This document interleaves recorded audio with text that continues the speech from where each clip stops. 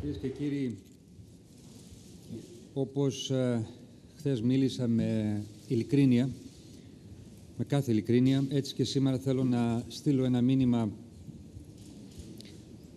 προς πάσα κατεύθυνση και με πάσα ειλικρίνεια. Την ε, αδιαπραγμάτευτη απόφασή μας να συνεχίσουμε στο δρόμο της σιγουριάς, της σταθερότητας, της ασφάλειας για την Ελλάδα, για κάθε ελληνικό νοικοκυριό και βέβαια το δρόμο των μεγάλων αλλαγών. Δίνουμε μάχες, βρισκόμαστε εν μέσω μιας ε, οικονομικής θύελας διεθνώς αλλά και στην Ευρώπη, αλλά δεν θα αφήσουμε ποτέ κανέναν να μας απειλήσει από αυτή την και να μας αλλάξει από αυτή την πορεία. Είναι αυτό που κάνουμε. Επιλέξαμε έναν δρόμο ναι δύσκολο, ναι ανηφορικό, αλλά είναι ο δρόμος που εξασφαλίζει την ασφάλεια και σήμερα και την προοπτική του αύριο. Κάθε άλλη πορεία θα είχε καταστροφικές συνέπειες για τη χώρα και για μας είναι αδιανόητη. Σε κάθε βήμα οι θυσίες που έχει κάνει ο ελληνικός λαός έχουν πιάσει τόπο. Χθες ε, είχα την ευκαιρία να αναφέρω μερικά από τα παραδείγματα, τα θετικά σημάδια, όπως είναι η αύξηση ρεκόρ των εξαγωγών μας, η σημαντική στροφή στην γεωργία μας, το ρεκόρ στον τουρισμό μας, η πράσινη ενέργεια που αναπτύσσεται. Όμως, ε, για να συνεχίσουμε και αυτές τις αλλαγές και να διασφαλίσουμε αυτή την πορεία, για να μπορέσουμε να πάμε σε ένα νέο πρότυπο ανάπτυξης, χρειάζεται να έχουμε μια σταθερή βάση. Και εδώ θυμίζω ότι εξασφαλίσαμε πέρσι ένα δάνειο για τη χώρα μας 110 δισεκατομμυρίων ευρώ, το οποίο ήταν και είναι το μεγαλύτερο και τότε που έχει εξασφαλίσει ποτέ οποιαδήποτε χώρα στον πλανήτη. Θυμίζω ότι ίσως το μεγαλύτερο μετά από την Ελλάδα δάνειο ήταν μιας άλλης χώρας, της Βραζιλίας, με 30 δις δολάρια πριν από μερικά χρόνια, καμία σχέση σε, με, την, με το δάνειο που πήρε η χώρα μας. Εξασφαλίσαμε λοιπόν αυτή την σταθερή πορεία και ήρθε, ήρθανε και οι αποφάσεις του Ιουλίου. Οι ιστορικές αποφάσεις του Ιουλίου που όχι μόνο μας δίνουν οι αποφάσεις αυτές μια νέα βοήθεια, ένα νέο πακέτο επίσης ιστορικής, α, ιστορικού ύψους αλλά συμβάλλουν πια και σε ένα άλλο θέμα στην καλύτερη διαχείριση του χρέους, δηλαδή την ελάφρυνση του χρέους που είναι θηλιά στο λαιμό του Έλληνα πολίτη. Είναι μια συμφωνία που όταν εφαρμοστεί θα καταστήσει για πρώτη φορά μετά από δεκαετίες το χρέος μας πλήρως διαχειρίσιμο. Και αυτό είναι που δίνει και προοπτική στην οικονομία μας και δυνατότητες ε, για να μπορούμε να ελπίζουμε.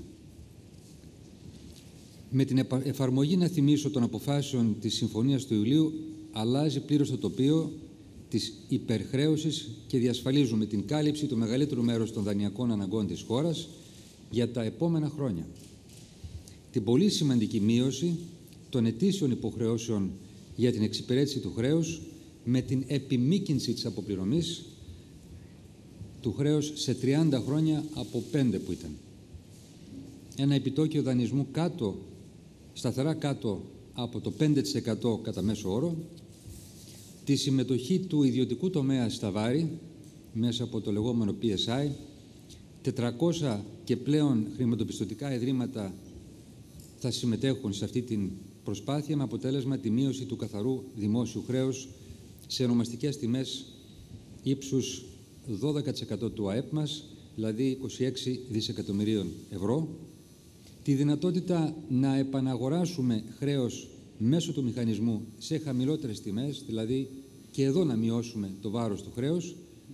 Και βέβαια όλο αυτό μέσα σε μια πορεία αναδιοργάνωσης και στήριξης και ενίσχυσης του τραπεζικού συστήματος ώστε να έχουμε τα ισχυρότερα, τα ισχυρότερα τραπεζικά συστήματα και στην Ευρώπη και παγκοσμίως, που θα βοηθήσει σε αυτό που πάρα πολύ και με τους φορείς που είχα μιλήσει ζητούν το θέμα της ρευστότητας, δηλαδή της επένδυσης στην πραγματική οικονομία που πράγματι σήμερα αποτελεί ένα σημαντικό πρόβλημα.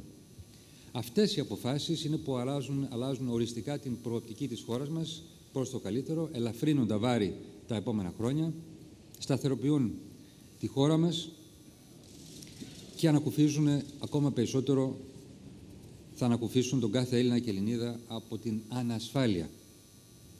Γι' αυτό και θα κάνουμε ό,τι απαιτείται για να κλειδώσει η συμφωνία του Ιουλίου σε όλα τα κοινοβούλια της Ευρωπαϊκής Ένωσης που έχουν σχέση, στην Ευρωζώνη δηλαδή, και βεβαίως και να συμφωνήσουν και οι 400 περίπου τράπεζες.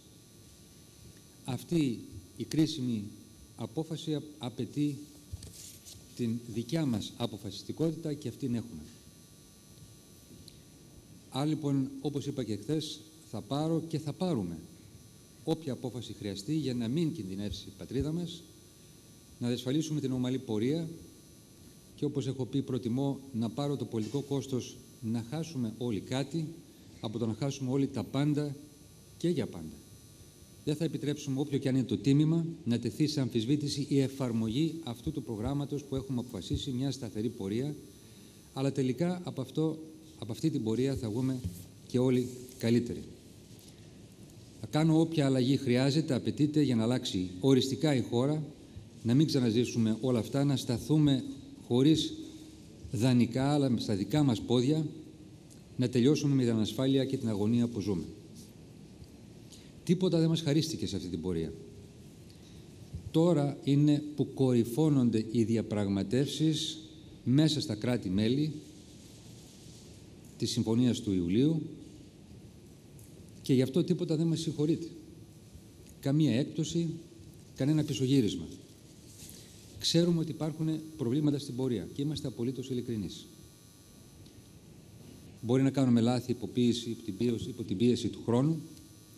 Μπορεί η διοίκηση να μην μπορεί να ακολουθήσει σε αυτή τη νέα εποχή στις πολλές αποφάσεις που παίρνουμε. Μπορεί και υπάρχουν αντιστάσεις από συντεχνίες ή κατεστημένα. Μπορεί και υπάρχει το διεθνές περιβάλλον που δεν βοηθάει, όπως είναι και η φημολογία, τα σενάρια που δημιουργούν ανασφάλεια, ακόμα και φόβο. Αυτά όμως ε, όλα πρέπει να τα αντιμετωπίσουμε και πρέπει να περάσουμε και ένα μήνυμα και διεθνώς, και το λέω και για τα διεθνή μέσα, ότι παρά τις δυσκολίες έχουμε κάνει πρωτοφανή άλματα στη χώρα μας όσα ήδη έχουμε κάνει με όποιες αδυναμίες είναι πραγματικά πρωτοφανή παρά το γεγονός ότι αυτό που κάνουμε είναι να αλλάξουμε τόσα σε μερικούς μήνες όσα δεν άλλαξαν σε πολλές δεκαετίες με δυσκολίες προχωράμε μπροστά. Αυτή είναι η αλήθεια για την Ελλάδα. Δεν την εξοαραίζουμε ούτε όμως και την οσοπεδώνουμε.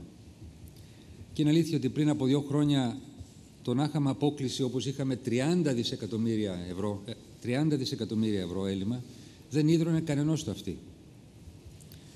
Τώρα στο μικροσκόπιο δεν μας συγχωρείται ούτε ενός αυρό απόκληση. Και στο σημείο που βρίσκεται στο κλίμα, το πολιτικό, η Ευρωζώνη, το διεθνές, ευρωπαϊκό, το διεθνές και το ευρωπαϊκό οικονομικό σύστημα, κάθε άλλη μας επιλογή από να, το να καταφέρουμε τους στόχους μας, να τηρήσουμε την δικιά μας πλευρά της συμφωνίας και των δεσμεύσεών μας, είναι δρόμος επισφαλής, επικίνδυνος για τη χώρα και βεβαίως για τους πολίτες. Γι' αυτό το μήνυμα είναι ότι η Ελλάδα θα τιμήσει τις δεσμεύσεις της και δεν θα αφήσουμε την Ελλάδα να γίνει το εξυλαστήριο θύμα για όποια προβλήματα υπάρχουν και υπάρχουν θεσμικά, πολιτικής φύσης, υπάρχουν λαϊκιστικές πολιτικές φωνές ή άλλα προβλήματα που μπορούν να υπάρχουν στην Ευρώπη. Τώρα χρειαζόμαστε μια επιπλέον προσπάθεια ώστε να τηρήσουμε πλήρως τις δεσμεύσεις μας και να δώσουμε αυτή τη μάχη που είναι καθοριστική. Καθοριστική για να διασφαλίσουμε τη σταθερή μας πορεία, να κρατήσουμε μακριά κάθε κίνδυνο, να μην δώσουμε σε κανέναν το δικαίωμα ή το άλοθη να πει ότι δεν κάνουμε όσα πρέπει, ότι δεν τηρούμε αυτά τα οποία έχουμε συμφωνήσει. Αυτό δεν θα το επιτρέψω δεν θα επιτρέψω σε κανέναν να απειλήσει τη χώρα, δεν θα επιτρέψω σε κανέναν να μας βάλει σε θανάσιμο κίνδυνο κατάρρευσης, δεν θα κάνω τη χάρη σε κανέναν να μπορεί να αμφισβητήσει τα όσα συμφωνήσαμε τον Ιούλιο, ιστορική απόφαση που είναι προς όφελος και δίνει προοπτική και σιγουριά στη χώρα μας. Και όπως είπα χθες, είμαι αποφασισμένος και έχοντας και το κάνει και την, το Υπουργικό Συμβούλιο και νωρίτερα, μπορώ να σας πω ότι είμαστε και ομόφωνα αποφασισμένοι να προχωρήσουμε μπροστά. Να προφυλάξουμε τη συμφωνία του Ιουλίου που παρέχει ασφάλεια για το μέλλον της χώρας γιατί δεν έχουμε δικαίωμα να αφήσουμε αυτή την προσπάθεια στη μέση. Γιατί αν μείνει στη μέση θα έχουν πρώτα απ' όλα χαθεί οι θυσίες των Ελλήνων και δεν θα έχουμε και την ευκαιρία να αλλάξουμε πράγματι σελίδα όπως ποθεί ο ελληνικός λαός. Και μπορώ να πω ότι είμαστε τόσο κοντά στο να αλλάξουμε οριστικά σελίδα. Θα ακούσατε και τον Αντιπρόεδρο και Υπουργό Οικονομικών στις δηλώσεις του. Μπορεί να ακούγεται, είναι όρος τεχνικός, αλλά είναι σημαντικός όρος, το πρωτογενές πλεόνασμα. Δηλαδή, να μην έχουμε λύματα, να έχουμε όσα έσοδα έχουμε έξοδα ή περισσότερα έσοδα από ό,τι έχουμε έξοδα. Χωρίς να υπολογίζουμε βεβαίως τα χρέη των παλαιότερων ετών. Και θυμίζω το 2009, το 2009 είχαμε πρωτογενές έλλειμμα 24 δισεκατομμύρια ευρώ. Καταφέραμε το 2010 και το πρωτογενές έλλειμμα κατέβηκε στα 11 δισεκατομμύρια ευρώ. Αν φέτος είμαστε συνεπείς και πρέπει να είμαστε συνεπείς, το 2011 το πρωτογενές έλλειμμα θα είναι μόνο 1,8 δισεκατομμύρια ευρώ. Και τηρώντας το πρόγραμμα του χρόνου το 2012 δεν θα έχουμε πρωτογενές έλλειμμα. Θα έχουμε πρωτογενές πλεόνασμα. Πρωτογενές πλεόνασμα.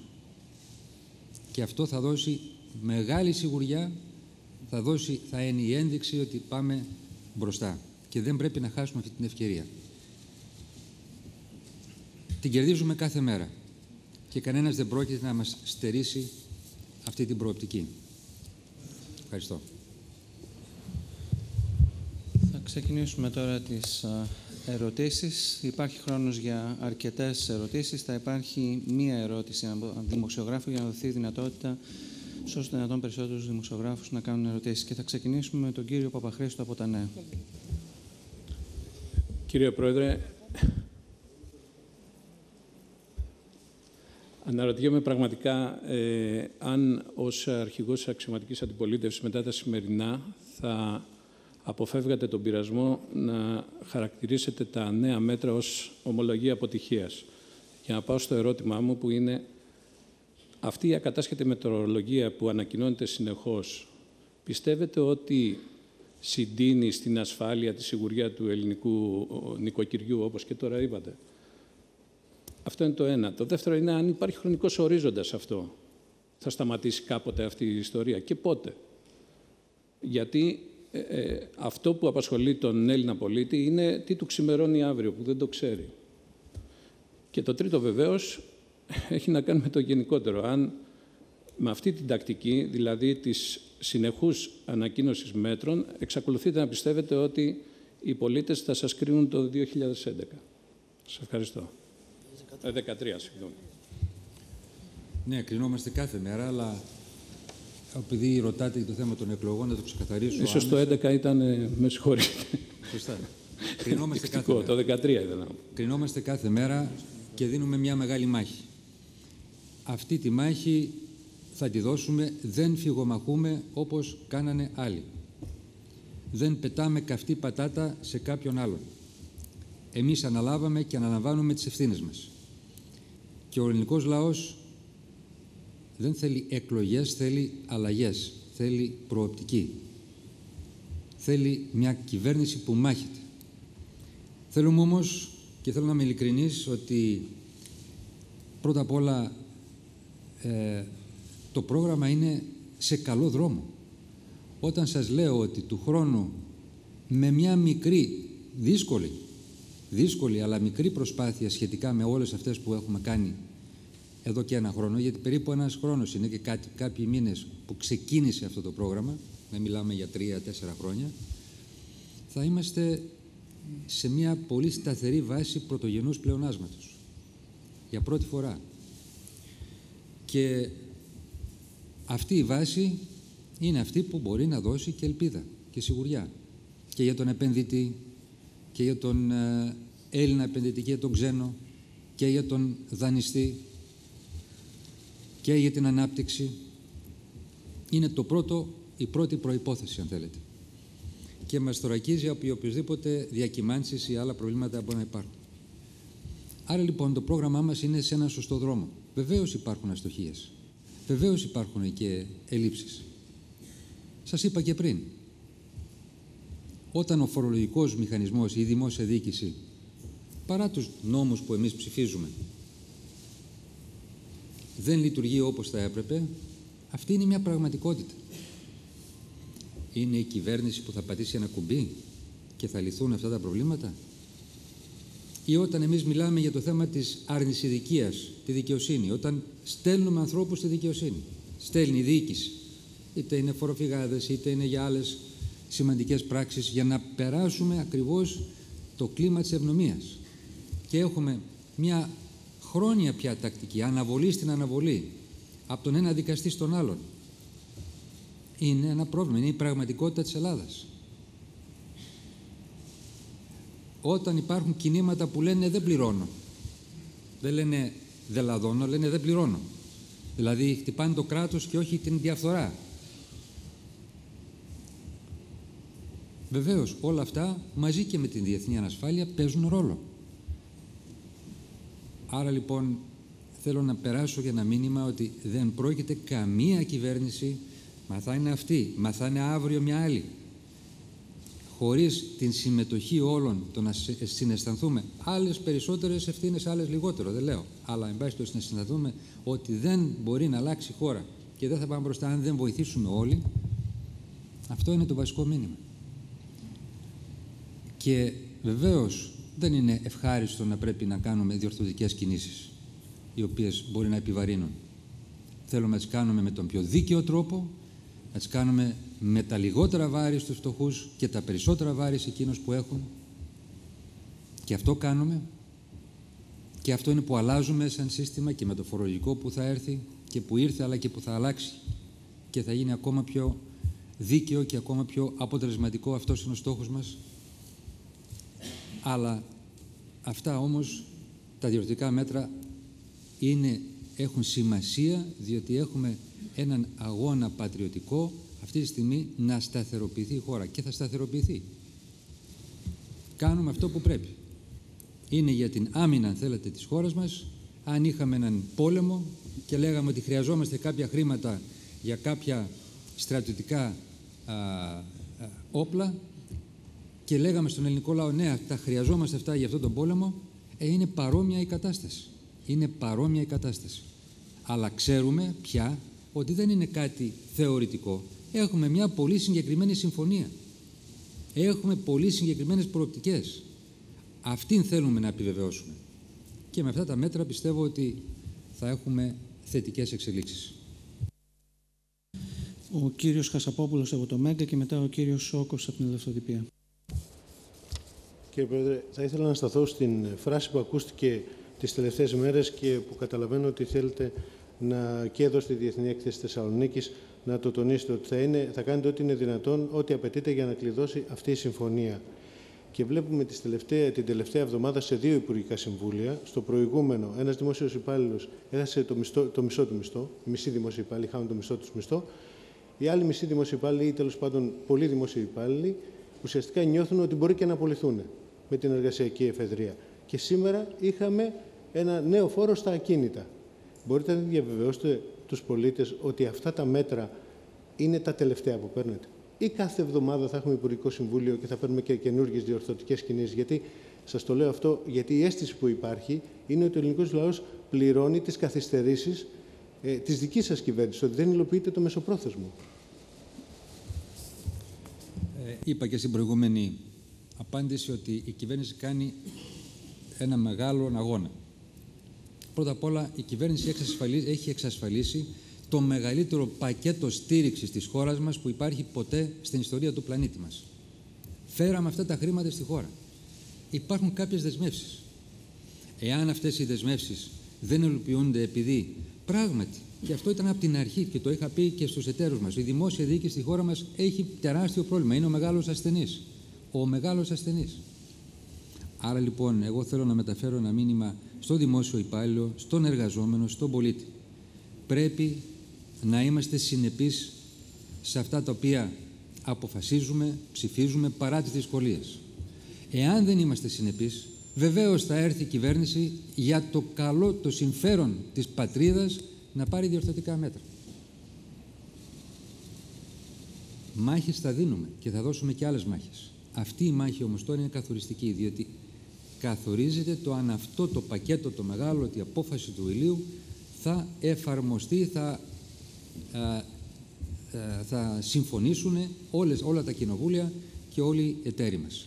Και υπάρχουν πολλοί, βλέποντας ότι είναι ένα πάρα πολύ γενναιόδωρο πακέτο για την Ελλάδα, εγώ θα σας πω και θα σας το έχει πει και ο Υπουργός Οικονομικών και σε άλλες συνεντεύξεις, ότι οι χώρες στο Διεθνές Νομισματικό Τομείο λένε γιατί στην Ελλάδα που είναι από τις 30 πλουσιότερες χώρες στον κόσμο εμείς να δίνουμε αυτά τα ποσά όταν θα μπορούσαμε να τα δώσουμε στην Αφρική, μπορούσαμε να τα δώσουμε στην Λατινική Αμερική ή στην Ασία. Και όμως αυτά τα διασφαλίσαμε. Άρα λοιπόν εμείς θεωρούμε βεβαίως ότι αυτό το μέτρο, αυτά τα οποία ανακοίνωσε και ο Υπουργός ε, είναι επαρκή και για το 11 και για το 12. Αλλά, αλλά θα είναι επαρκή όσο είμαστε συνεπείς. Και όσο είμαστε συνεπείς δεν είναι θέμα μόνο νομοθέτησης από μια κοινοβουλευτική πλειοψηφία, είναι όλοι να κατανοήσουμε ότι αυτή η χώρα πρέπει να αλλάξει.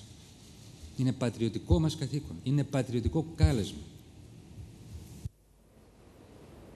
Ο κύριος Σόκος από την Ελευθεροτυπία και μετά η κυρία Μουρελάτο από τον Αντένα.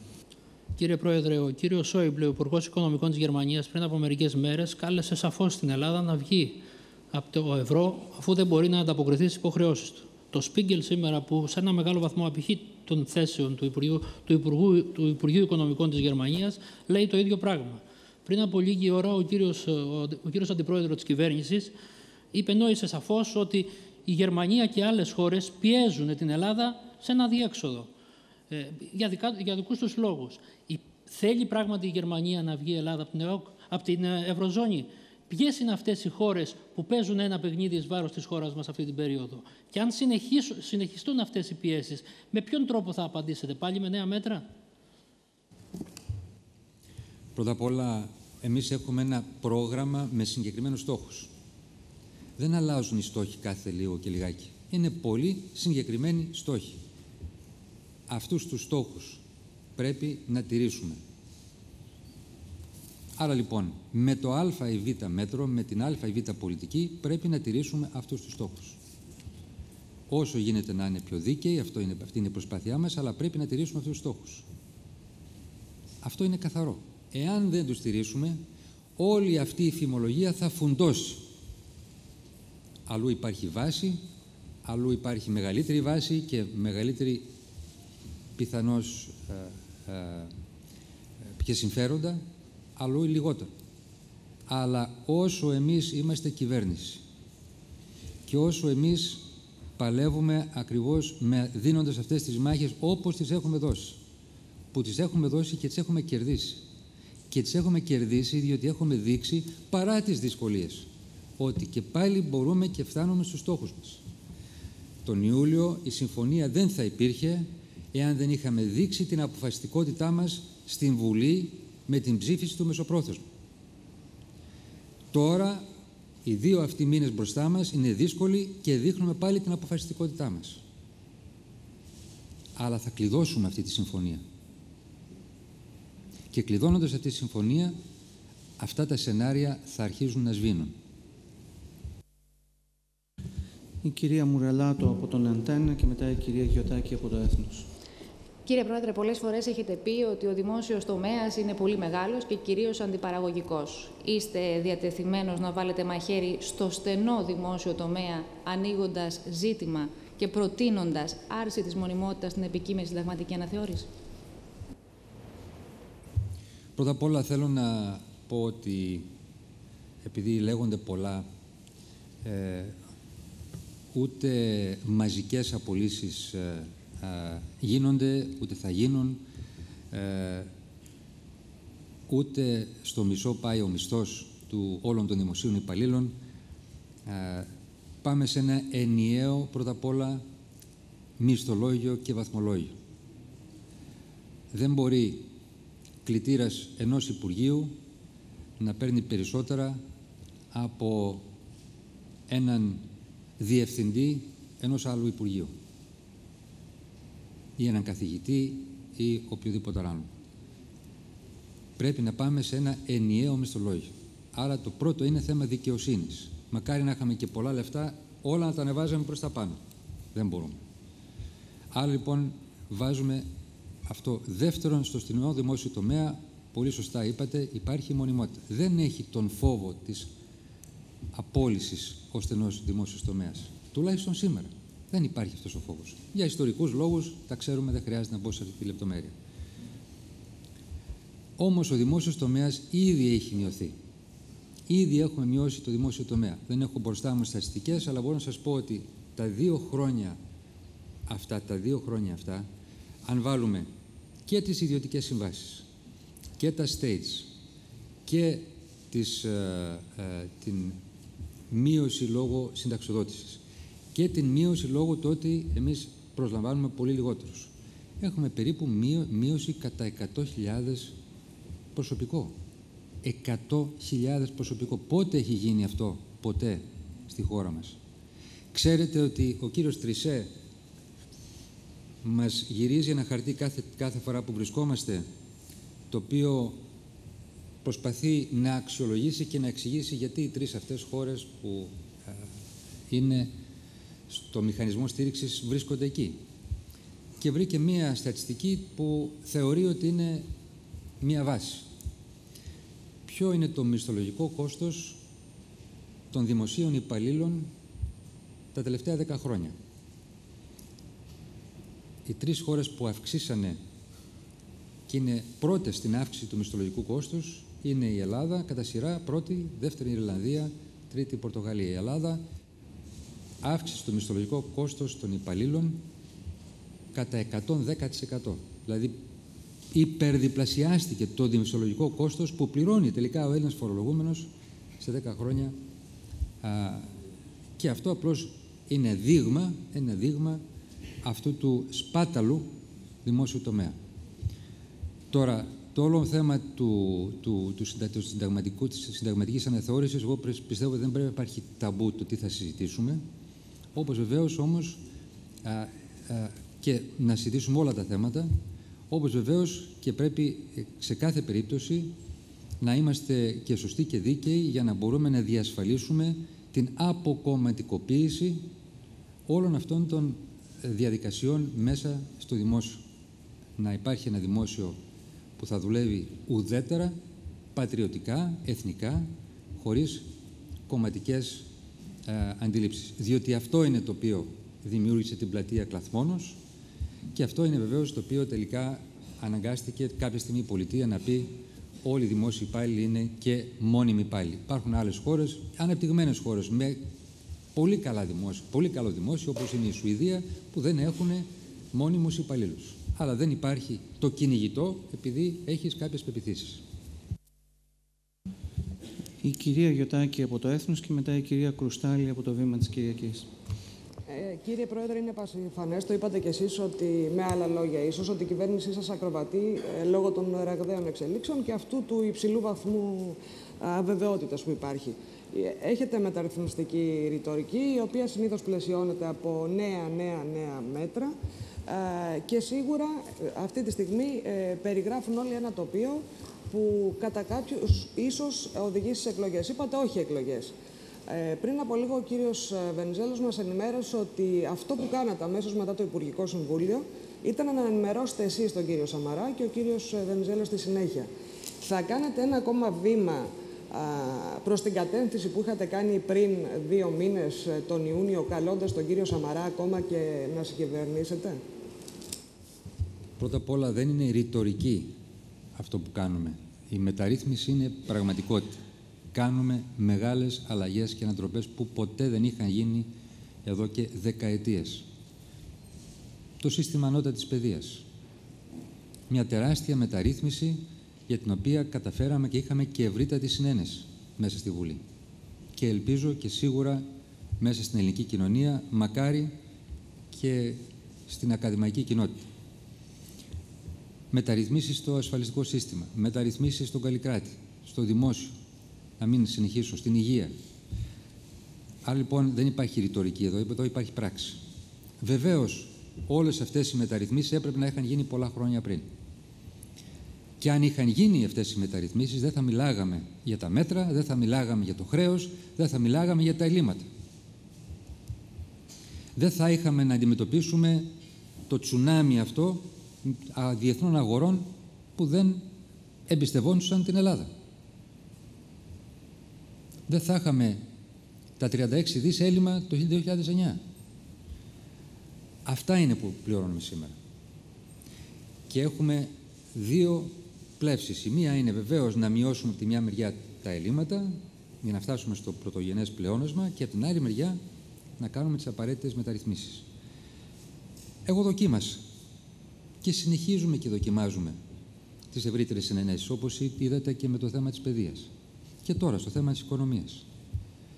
Δεν είδαμε όμως την οριμότητα από την άλλη πλευρά, δεν θα μπω σε μια ε, διελκυστίνδα αντιπολιτευτική, μια παράταξη η οποία έχει τεράστιες ευθύνες για το πού είμαστε σήμερα, θα έπρεπε να βάλει πλάτη. Και είμαι σίγουρος, ξέρω ότι υπάρχουν πάρα πολλά στελέχη στη Νέα Δημοκρατία που θα συμφωνούσαν με μια τέτοια στάση.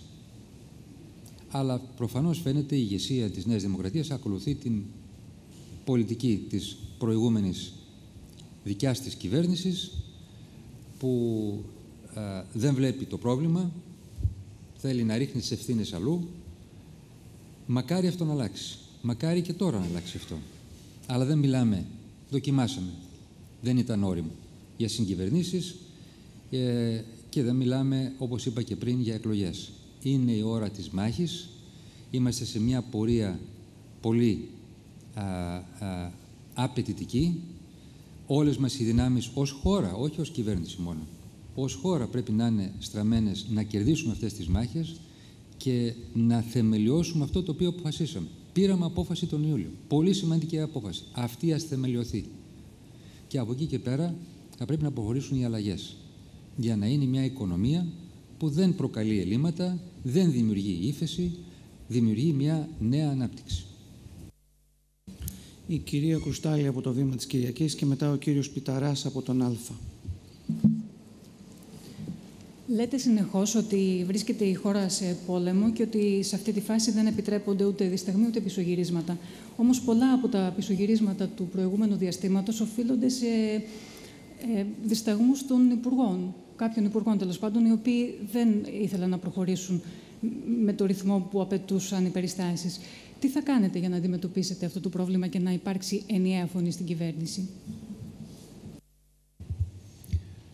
Πρώτα απ' όλα είναι μια κυβέρνηση που ανέλαβε στην πιο δύσκολη στιγμή των τελευταίων δεκαετιών, θα λέγα σίγουρα μετά τη μεταπολίτευση. Έχει να αντιμετωπίσει συσσωρευμένα προβλήματα εσωτερικά της χώρας μας, του δημόσιου, της οικονομίας και βεβαίως και μια διεθνή κατάσταση που επίσης είναι πρωτοφανής και μια Ευρώπη πολύ διαφορετική. Ήταν πολύ περίεργο μια κυβέρνηση να μην συζητά, να μην υπάρχουν διαφορετικές απόψεις, να μην αγωνιά για το αν κάνει το καλύτερο. Και εγώ αυτή την κυβέρνηση τη χαίρομαι. Διότι είχαμε κυβερνήσεις, να σας θυμίσω, με πρωθυπουργούς που σπάνια εμφανιζόντουσαν και υπουργικά συμβούλια που ήταν ανύπαρκτα. Ανύπαρκτα. Δεν υπήρχαν υπουργικά συμβούλια. Και κατηγορούμαστε τώρα ότι καθόμαστε και αγωνιούμε και συζητάμε για το καλύτερο της χώρας.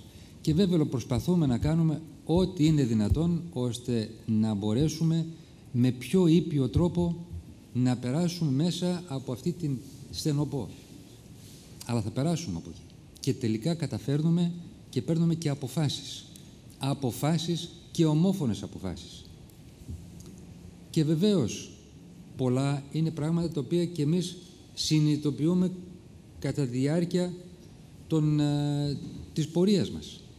Συνειδητοποιούμε τις δυσκολίες του δημόσιου τομέα. Πολύ περισσότερο, όπως και ο Έλληνας πολίτης το βλέπει. Συνειδητοποιούμε τις αντιστάσεις. Πόσες αντιστάσεις υπήρχαν για αυτή την, την, την κατακαημένη ηλεκτρονική συνταγογράφηση που καμία προηγούμενη κυβέρνηση το φωνάζαμε πέντε χρόνια δεν το τολμούσε. Γιατί ήταν δύσκολο να μπει ένα κομπιούτερ, όχι. Δεν υπήρχε πολιτική βούληση. Υπήρχαν τα συμφέροντα και υπάρχουν τα συμφέροντα που θέλουν να υπονομεύσουν αυτό το απλό. Η ηλεκτρονική συνταγογράφηση. Γιατί, Γιατί είναι διαφάνεια, μειώνει τις τιμές, μειώνει, μειώνει το κόστος για τον ασφαλισμένο και τα ασφαλιστικά ταμεία, μειώνει τα κέρδη στις μεγάλες φαρμακοβιομηχανίες και σε κάποιους βεβαίως γιατρούς που ξέρετε πώς αμείβονται. Υπάρχουν αντιστάσεις. Ε, σε αυτές τις αντιστάσεις εμείς θα είμαστε αμήλικτοι, αλλά χρειαζόμαστε τη συνεργασία όλων. Και αν υπάρχουν πισωγυρίσματα είναι όταν δεν κατανοούμε ότι πρέπει να προχωρήσουμε μπροστά. Πρέπει να αλλάξει η Ελλάδα. Είναι η μεγάλη μας ευκαιρία. Μην τη χάσουμε, μην δηλιάσουμε. Ο κύριος Πιταράς από τον Α και μετά ο κύριος Ζούλας από την Καθημερινή. Κύριε Πρόεδρε, επειδή αναφέρεστε συνέχεια στην ε, στη φοροδιαφυγή. Και νωρίτερα άκουσα και τον ε, κύριο Αντιπρόεδρο να μιλάει για την ανυπαρξία φορολογικής ε, ε, διοίκησης. Θέλω να σας ρωτήσω κάτι πολύ συγκεκριμένο. Πέρυσι, θυμάμαι, ο κύριος ε, Πάγκαλος με εντολή σα είχε ε, αναχωρήσει μάλιστα εν μέσω Υπουργικού Συμβουλίου για την Ελβετία. Και όταν γύρισε, είχε στα χέρια του ένα DVD με στοιχεία Ελλήνων καταθετών και μια διακρατική συμφωνία για τον ε, εντοπισμό Ελλήνων φοροφυγάδων. Τώρα, ένα χρόνο μετά, μπορείτε να μας πείτε τι έχει γίνει αυτή η υπόθεση. Έχετε κάνει διασταυρώσεις, ε, δικαιολογούνται αυτές οι καταθέσεις, έχουν πληρώσει αυτοί φόρο εδώ στην Ελλάδα; Και το ρωτάω αυτό γιατί σήμερα, πολύ εύλογα ο κόσμος, ακούγοντας και τις και τις σημερινές ανακοινώσεις, θα πει «Μα καλά, πάλι από εμάς ζητάνε λεφτά». Ναι, πρώτα απ' όλα, στο δεύτερο σκέλος που αναφερθήκατε, υπονοήσατε, ε, πρώτα απ' όλα θα σας είπε ο Υπουργός ότι, και ο Αντιπρόεδρος ότι κλιμακωτές θα είναι, η, η, κλιματο, κλιμακωτή είναι η, η, αυτό το τέλος, αυτό το τέλος με, άρα με μία απόλυτη προσπάθεια α, κοινωνικής δικαιοσύνης. Τα βάρη πράγματι να πάνε εκεί που μπορούν να το αντέξουν ή ακόμα και εκεί που ξέρουμε ότι με διάφορους τρόπους φοροδιαφεύγουν. Γιατί αν δεν φοροδιέφευγαν, δεν θα είχαμε το πρόβλημα.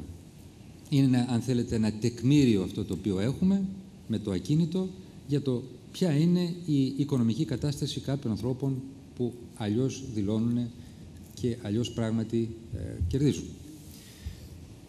Άρα αυτό είναι το πρώτο. Τώρα, σε σχέση με τον έλεγχο, ήδη έχουν ψηφιστεί και από, με εισήγηση και του προηγούμενου Υπουργού Οικονομικών και, με τον, ε, και επί του κυρίου Βενιζέλου, με εισήγηση στην Βουλή, σημαντικές ρυθμίσεις πια για διαφάνεια. Για το άνοιγμα λογαριασμών, για τον έλεγχο λογαριασμών, για την κίνηση λογαριασμών, κάτι που δεν υπήρχε πριν. Είναι πρώτη φορά που γίνεται στη χώρα μας. Δεύτερον, όλα αυτά τα στοιχεία τα οποία έχουν έρθει ελέγχονται από τις αρμόδιες υπηρεσίες. Και άρα ο έλεγχος αυτός ε, γίνεται και υπάρχουν συνέπειες. Δεν έχω μπροστά μου τα στοιχεία. Ε, δεν, είναι, δεν είναι παράνομο το να βγάλεις χρήματα, παράνομο είναι να μην έχεις δηλώσει χρήματα. Όμως ε, έχουμε και το εξής, εγώ έχω προσωπικά ε, μιλήσει και πρόσφατα πάλι και στο Παρίσι που ήταν η Πρωθυπουργός της Ελβετίας. Ήδη έχει υπάρξει συμφωνία με την Γερμανία και νομίζω μετά αμέσως με την Βρετανία, όπου καταθέσεις ε, αλλοδαπών στην ε, Ελβετία θα φορολογούνται. Μπορεί να μην αποκαλύπτονται τα ονόματα, αυτή είναι μια συμφωνία, αλλά θα φορολογούνται και θα δίνονται τα χρήματα αυτά στη χώρα προέλευσης. Άρα λοιπόν πάμε προς αυτή τη συμφωνία ως μια βασική αρχική συμφωνία, πράγματι χρήματα τα οποία θα έπρεπε να φορολογούνται και θα έπρεπε να είναι στον κορβανά αυτής της χώρας και για τον ελληνικό λαό θα έρθουν στο ελληνικό κράτος. Είναι μία από τις πολλές ενέργειες ακριβώς για να αποκαταστήσουμε το αίσθημα δικαιοσύνης που δικαίως ζητά ο ελληνικός λαός. Ο κύριος Ζούλας από την Καθημερινή και μετά ο κύριος Κούτρας από το Sky. Κύριε Πρόεδρε, είπατε πριν από λίγο ότι οι στόχοι δεν αλλάζουν, αλλά τους στόχους πρέπει να τους πετυχαίνουμε. Διαπιστώνει λοιπόν κανένας πολύ εύκολα ότι προφανώς δεν επιτύχατε τους στόχους σας για να επιβάλλετε σήμερα ένα νέο μέτρο, το οποίο είναι, αφορά την έκτακτη φορολόγηση των ακινήτων, διαψεύδοντας έτσι και την ε, προδιημέρου δέσμευσης του κύριου Βενιζέλου ότι δεν θα φορολογηθούν εκ νέου χαμηλόμισθοι και συνταξιούχοι. Έκανα ένα πρόχειρο υπολογισμό και είδα ότι μια μέση ελληνική οικογένεια που έχει ένα σπίτι 100 τετραγωνικά και ένα μικρό εξοχικό θα κληθεί να πληρώσει από 600 έως 1000 ευρώ για δύο χρόνια με αυτά που ανακοίνωσε πριν από μισή ώρα ο κ. Βενιζέλος. Και αναφέρομαι στη μέση ελληνική οικογένεια, γιατί αυτή είναι που πρωτίστως πλήττεται από τις διαρκείς φορολογίες που επιβάλλεται, όπως και τις ε, μειώσεις των εισοδημάτων, τις ακριβές τιμές στην αγορά και τώρα έρχεστε επί της ουσίας να φορολογήσετε το σπίτι της. Δηλαδή τις αποταμιεύσεις αυτής της οικογένειας, γιατί η μέση ελληνική οικογένεια αντιμετωπίζει το σπίτι της ως αποταμίευση. Το ερώτημά μου λοιπόν είναι, καθώς τα τελευταία δύο χρόνια έχει αποδειχθεί πλήρως ότι η πολιτική της διαρκούς αφέμαξης της μέσης ελληνικής οικογένειας είναι αναποτελεσματική και καταστροφική για όλη την οικονομία. Γιατί δεν πραγματοποιείται μια δραστική περιστολή πλέον στις κρατικές δαπάνες, στις δημόσιες δαπάνες. Γιατί δεν κλείνεται μια δέκο. Προχθές ανακοινώσατε ότι ο, ΤΕ, ο, ο ΣΕ, και λέω ο ΤΕ, ήταν πρώτος στους μεγαλοφιλέτες του δημοσίου. Και επειδή το είπατε και χθες ότι στόχος σας είναι ε, να υπάρχει ένας εργαζόμενος ανασπίτι, αλήθεια πιστεύετε ότι αυτή τη στιγμή μια μέση ελληνική οικογένεια με έναν εργαζόμενο 800 ευρώ μπορεί να επιβιώσει με τις σημερινές συνθήκες; Ευχαριστώ. Αυτό το έβαλα ως ελάχιστο, όχι ως ε, στόχο. Έτσι, ως ελάχιστο. Και γι' αυτό έχουμε και τα προγράμματα, είναι και εδώ ο κ. Πετρουμάνης, ακριβώς για να διασφαλίσουμε με τα κοινωνικά, κοινοτικά κονδύλια που έχουμε, τα μεγάλα προγράμματα που έχουμε, που δεν έχουν λειτουργήσει στο παρελθόν και δεν έχουν λειτουργήσει σωστά και έχουν χαθεί, να δώσουμε τη δυνατότητα ε, με προγράμματα είτε κατάρτισης είτε άσκησης ε, να στηρίξουμε και το εισόδημα ακόμα του ανέργου, όχι μόνο με, με την κατάρτιση, αλλά και το εισόδημα ακόμα και του ανέργου για την ε, ε, για τις οικογένειες αυτές. Ε, είναι ένα πρόγραμμα το οποίο μπορεί να φτάσει, θα φτάσει σίγουρα σε εκατοντάδες χιλιάδες ε, ανέργους. Δεν μιλάμε μόνο για κάποιες χιλιάδες, για εκατοντάδες χιλιάδες ανέργους και θα είναι σημαντικό. Θέλουμε βεβαίως να φτάσουμε σε ένα σύστημα όπως υπάρχουν και στις βόρειες χώρες, όπου δεν είναι ο φόβος ότι το να είσαι άνεργος, γιατί είναι απλώς μια μεταβατική φάση έως ότου πας και βρεις μια άλλη δουλειά. Αυτό το σύστημα το πρόνοιας που δεν υπάρχει στην Ελλάδα είναι αυτό ακριβώς που επίσης πρέπει να λειτουργήσει. Να φτιάξουμε ένα κράτος πρόνοιας που στηρίζει τον εργαζόμενο, στηρίζει τον νέο, στηρίζει τον άνεργο που φεύγει στα 40-45 του απολύεται, για να μπορεί να βρει μια άλλη δουλειά.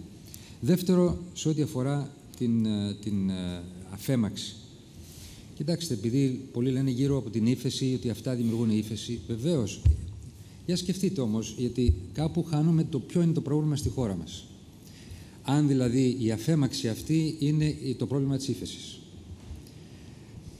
Σκεφτείτε μια επιχείρηση η οποία παράγει, αλλά παράγει προϊόντα τα οποία δεν αγοράζονται από κανέναν. Έχει έξοδα, έχει μισθούς, δανείζεται συνεχώς για να παράγει αυτά τα προϊόντα και δεν τα πουλάει. Και κάποια στιγμή έρχονται οι δανειστές και λένε πώς θα τα βγάλεις; Κόψε, κόψε. Θα του πει ο επιχειρηματίας, μα τότε θα δημιουργηθεί ύφεση στην επιχείρησή μου. Θα πρέπει να πει ο επιχειρηματίας, αυτό θα του πούνε, φτιάξε κανένα προϊόν που να πουλιέται, φτιάξε προϊόν που είναι ανταγωνιστικό, γι' αυτό έχουμε ύφεση γιατί είχαμε μια οικονομία που δεν βασιζόταν σε ένα σωστό πρότυπο ανάπτυξης. Δεν παρήγαγε για εξαγωγές, δεν παρήγαγε γεωργικά προϊόντα ποιοτικά, παίρναμε επιδοτήσεις για να στέλνουμε, να ρίχνουμε στις χωματερές, μάθαμε σε αυτή την λογική, δημιουργήσαμε μια υπερκατανάλωση και τροφοδοτούσε την υπερκατανάλωση το έλλειμμα, τα τεράστια έλλειμματα του κράτους, μέχρι 36 δις που φτάσαμε το 2009, αυτή είναι, στεκόμαστε σε πύληνα πόδια. Άρα, ο στόχος είναι να πάμε σε ένα άλλο αναπτυξιακό μοντέλο. Και αυτό αρχίζει. Αρχίζει δειλά, αλλά και δυναμικά. Όταν μιλάμε για 40% αύξηση στις εξαγωγές, είναι ρεκόρ. Απλώς δεν ήταν μεγάλη η εξαγωγική μας βιομηχανία. Ο τουρισμός έχει φτάσει σε ρεκόρ. Άρα λοιπόν δείχνουμε, η γεωργία ήδη υπάρχει στροφή, μεγάλη στροφή στις εξαγωγές. Δείχνουμε ότι μπορούμε. Αλλά περνάμε από μια φάση μετάβασης. Από μια οικονομία σε μια άλλη. Αυτή η φάση είναι δύσκολη. Και σε αυτή τη φάση υπάρχουν και συμφωνίες με τους δανειστές μας που λένε «Κοιτάξτε, δεν μπορούμε να σας πληρώνουμε τα ελλείμματα. Καταλαβαίνετε τι μας πληρώνουν. Δεν μας πληρώνουν το χρέος το οποίο δεν μπορούμε να πληρώσουμε. Πληρώνουν τα, τα παραπάνω που ξοδεύουμε από ό,τι έχουμε έσοδα. Όταν εγώ μπορεί να, και όλοι μας, να, να εξαγριωνόμαστε με τις φράσεις και την αντίληψη που έχουν για την Ελλάδα πολλοί. Από την άλλη μεριά, ας βάλουμε και τον εαυτό μας σε τη δικιά τους θέση. Σου λέει ο άλλος, να τους βοηθήσουμε. Πόσα χρόνια θα πληρώνουμε τα παραπάνω τους έξοδα; Δηλαδή, παραπάνω από ό,τι έχουμε έσοδα, εμείς να καταναλώνουμε με τα, με τα δικά τους δανεικά; Και γι' αυτό μιλάμε να πάμε γρήγορα σε ένα πρωτογενές πλεόνασμα. Α, λοιπόν, ναι, είναι δύσκολα, κάνουμε αυτό που κάνουμε όμως και παίρνουμε μέτρα τα οποία εμείς και αυτό το οποίο έχει, σας έχει αναλύσει ο Υπουργός θα το κάνουμε με τον πιο δίκαιο τρόπο. Με τον πιο δίκαιο τρόπο. Δηλαδή, ακριβώς βοηθώντας να ανακουφίσουμε ή να μην υπεβαρύνουμε ή να μην επιβαρύνουμε πολύ τα χαμηλότερα στρώματα και να επιβαρύνουμε τα ψηλότερα.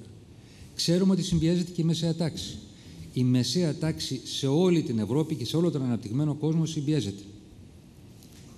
Μόνο εάν όμως φτιάξουμε μια ε, οικονομία η οποία είναι εξαγωγική, δυναμική, θα, μπορέσει να στηρίξουμε, θα μπορέσουμε να στηρίξουμε τη μεσαία τάξη. Και μόνο όταν και εμείς οι ίδιοι πούμε ότι επιτέλους πληρώνουμε τους φόρους μας, θα μπορέσουμε να πούμε ότι στηρίζουμε τη μεσαία τάξη και όλες τις τάξεις, αλλά ιδιαίτερα τη μεσαία και την χαμηλόμισθη, με τις απαραίτητες υπηρεσίες της χώρας.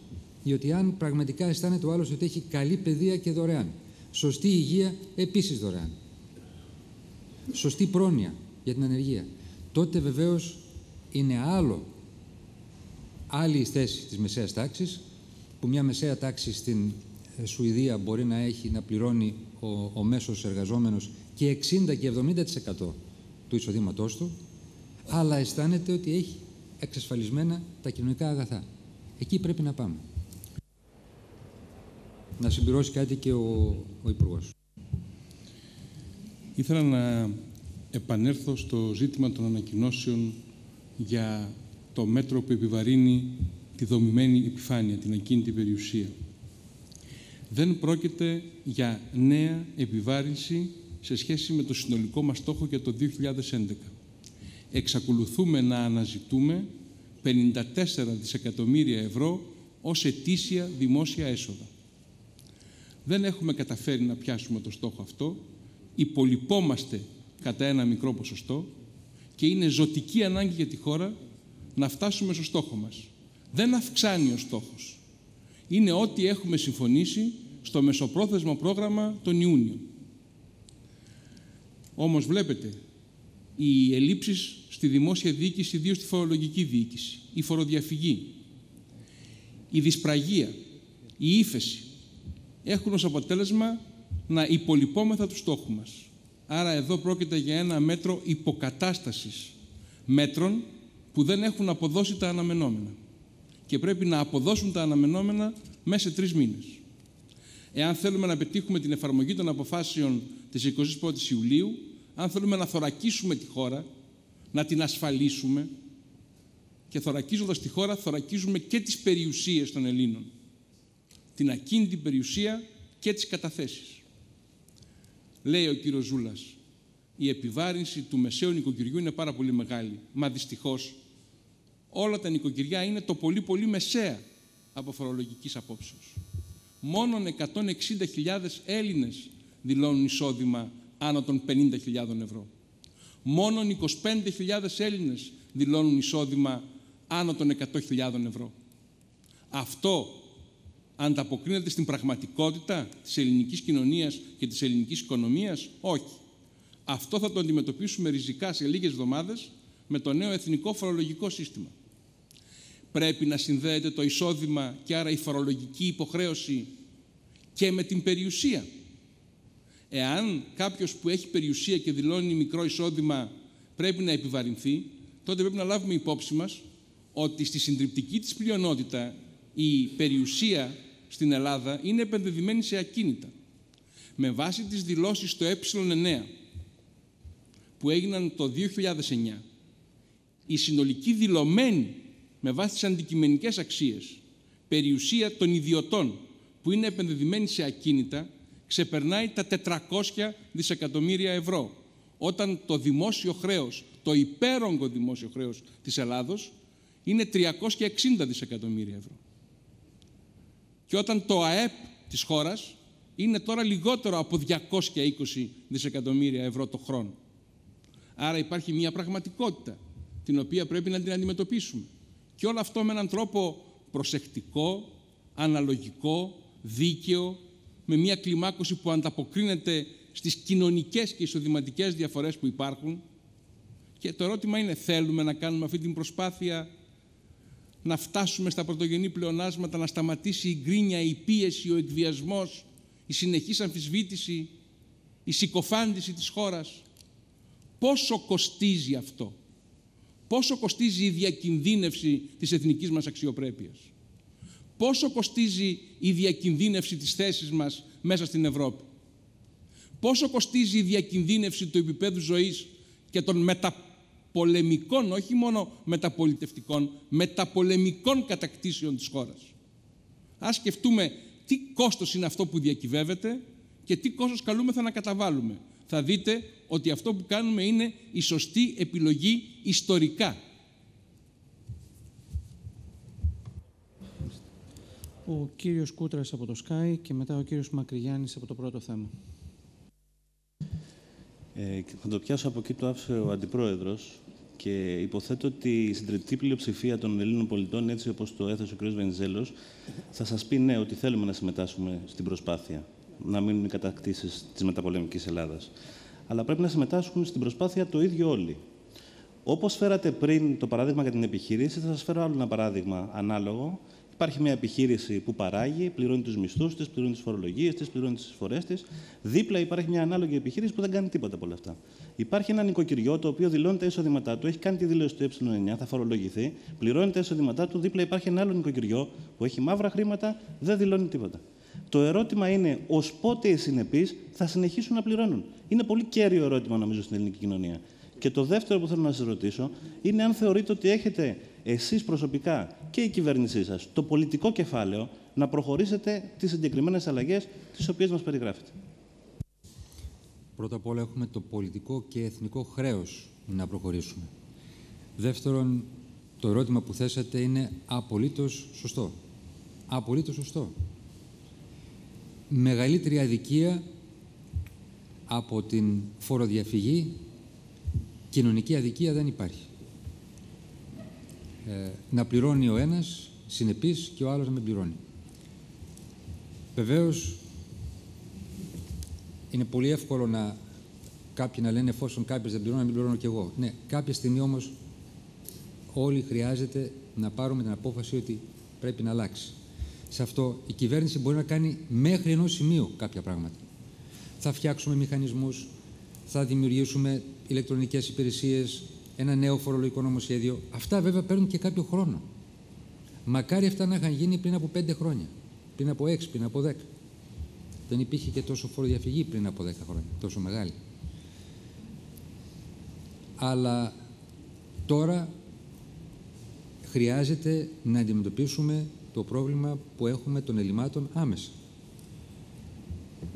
Και αυτό όσο το κατανοήσουμε, τόσο θα είμαστε και αποτελεσματικοί.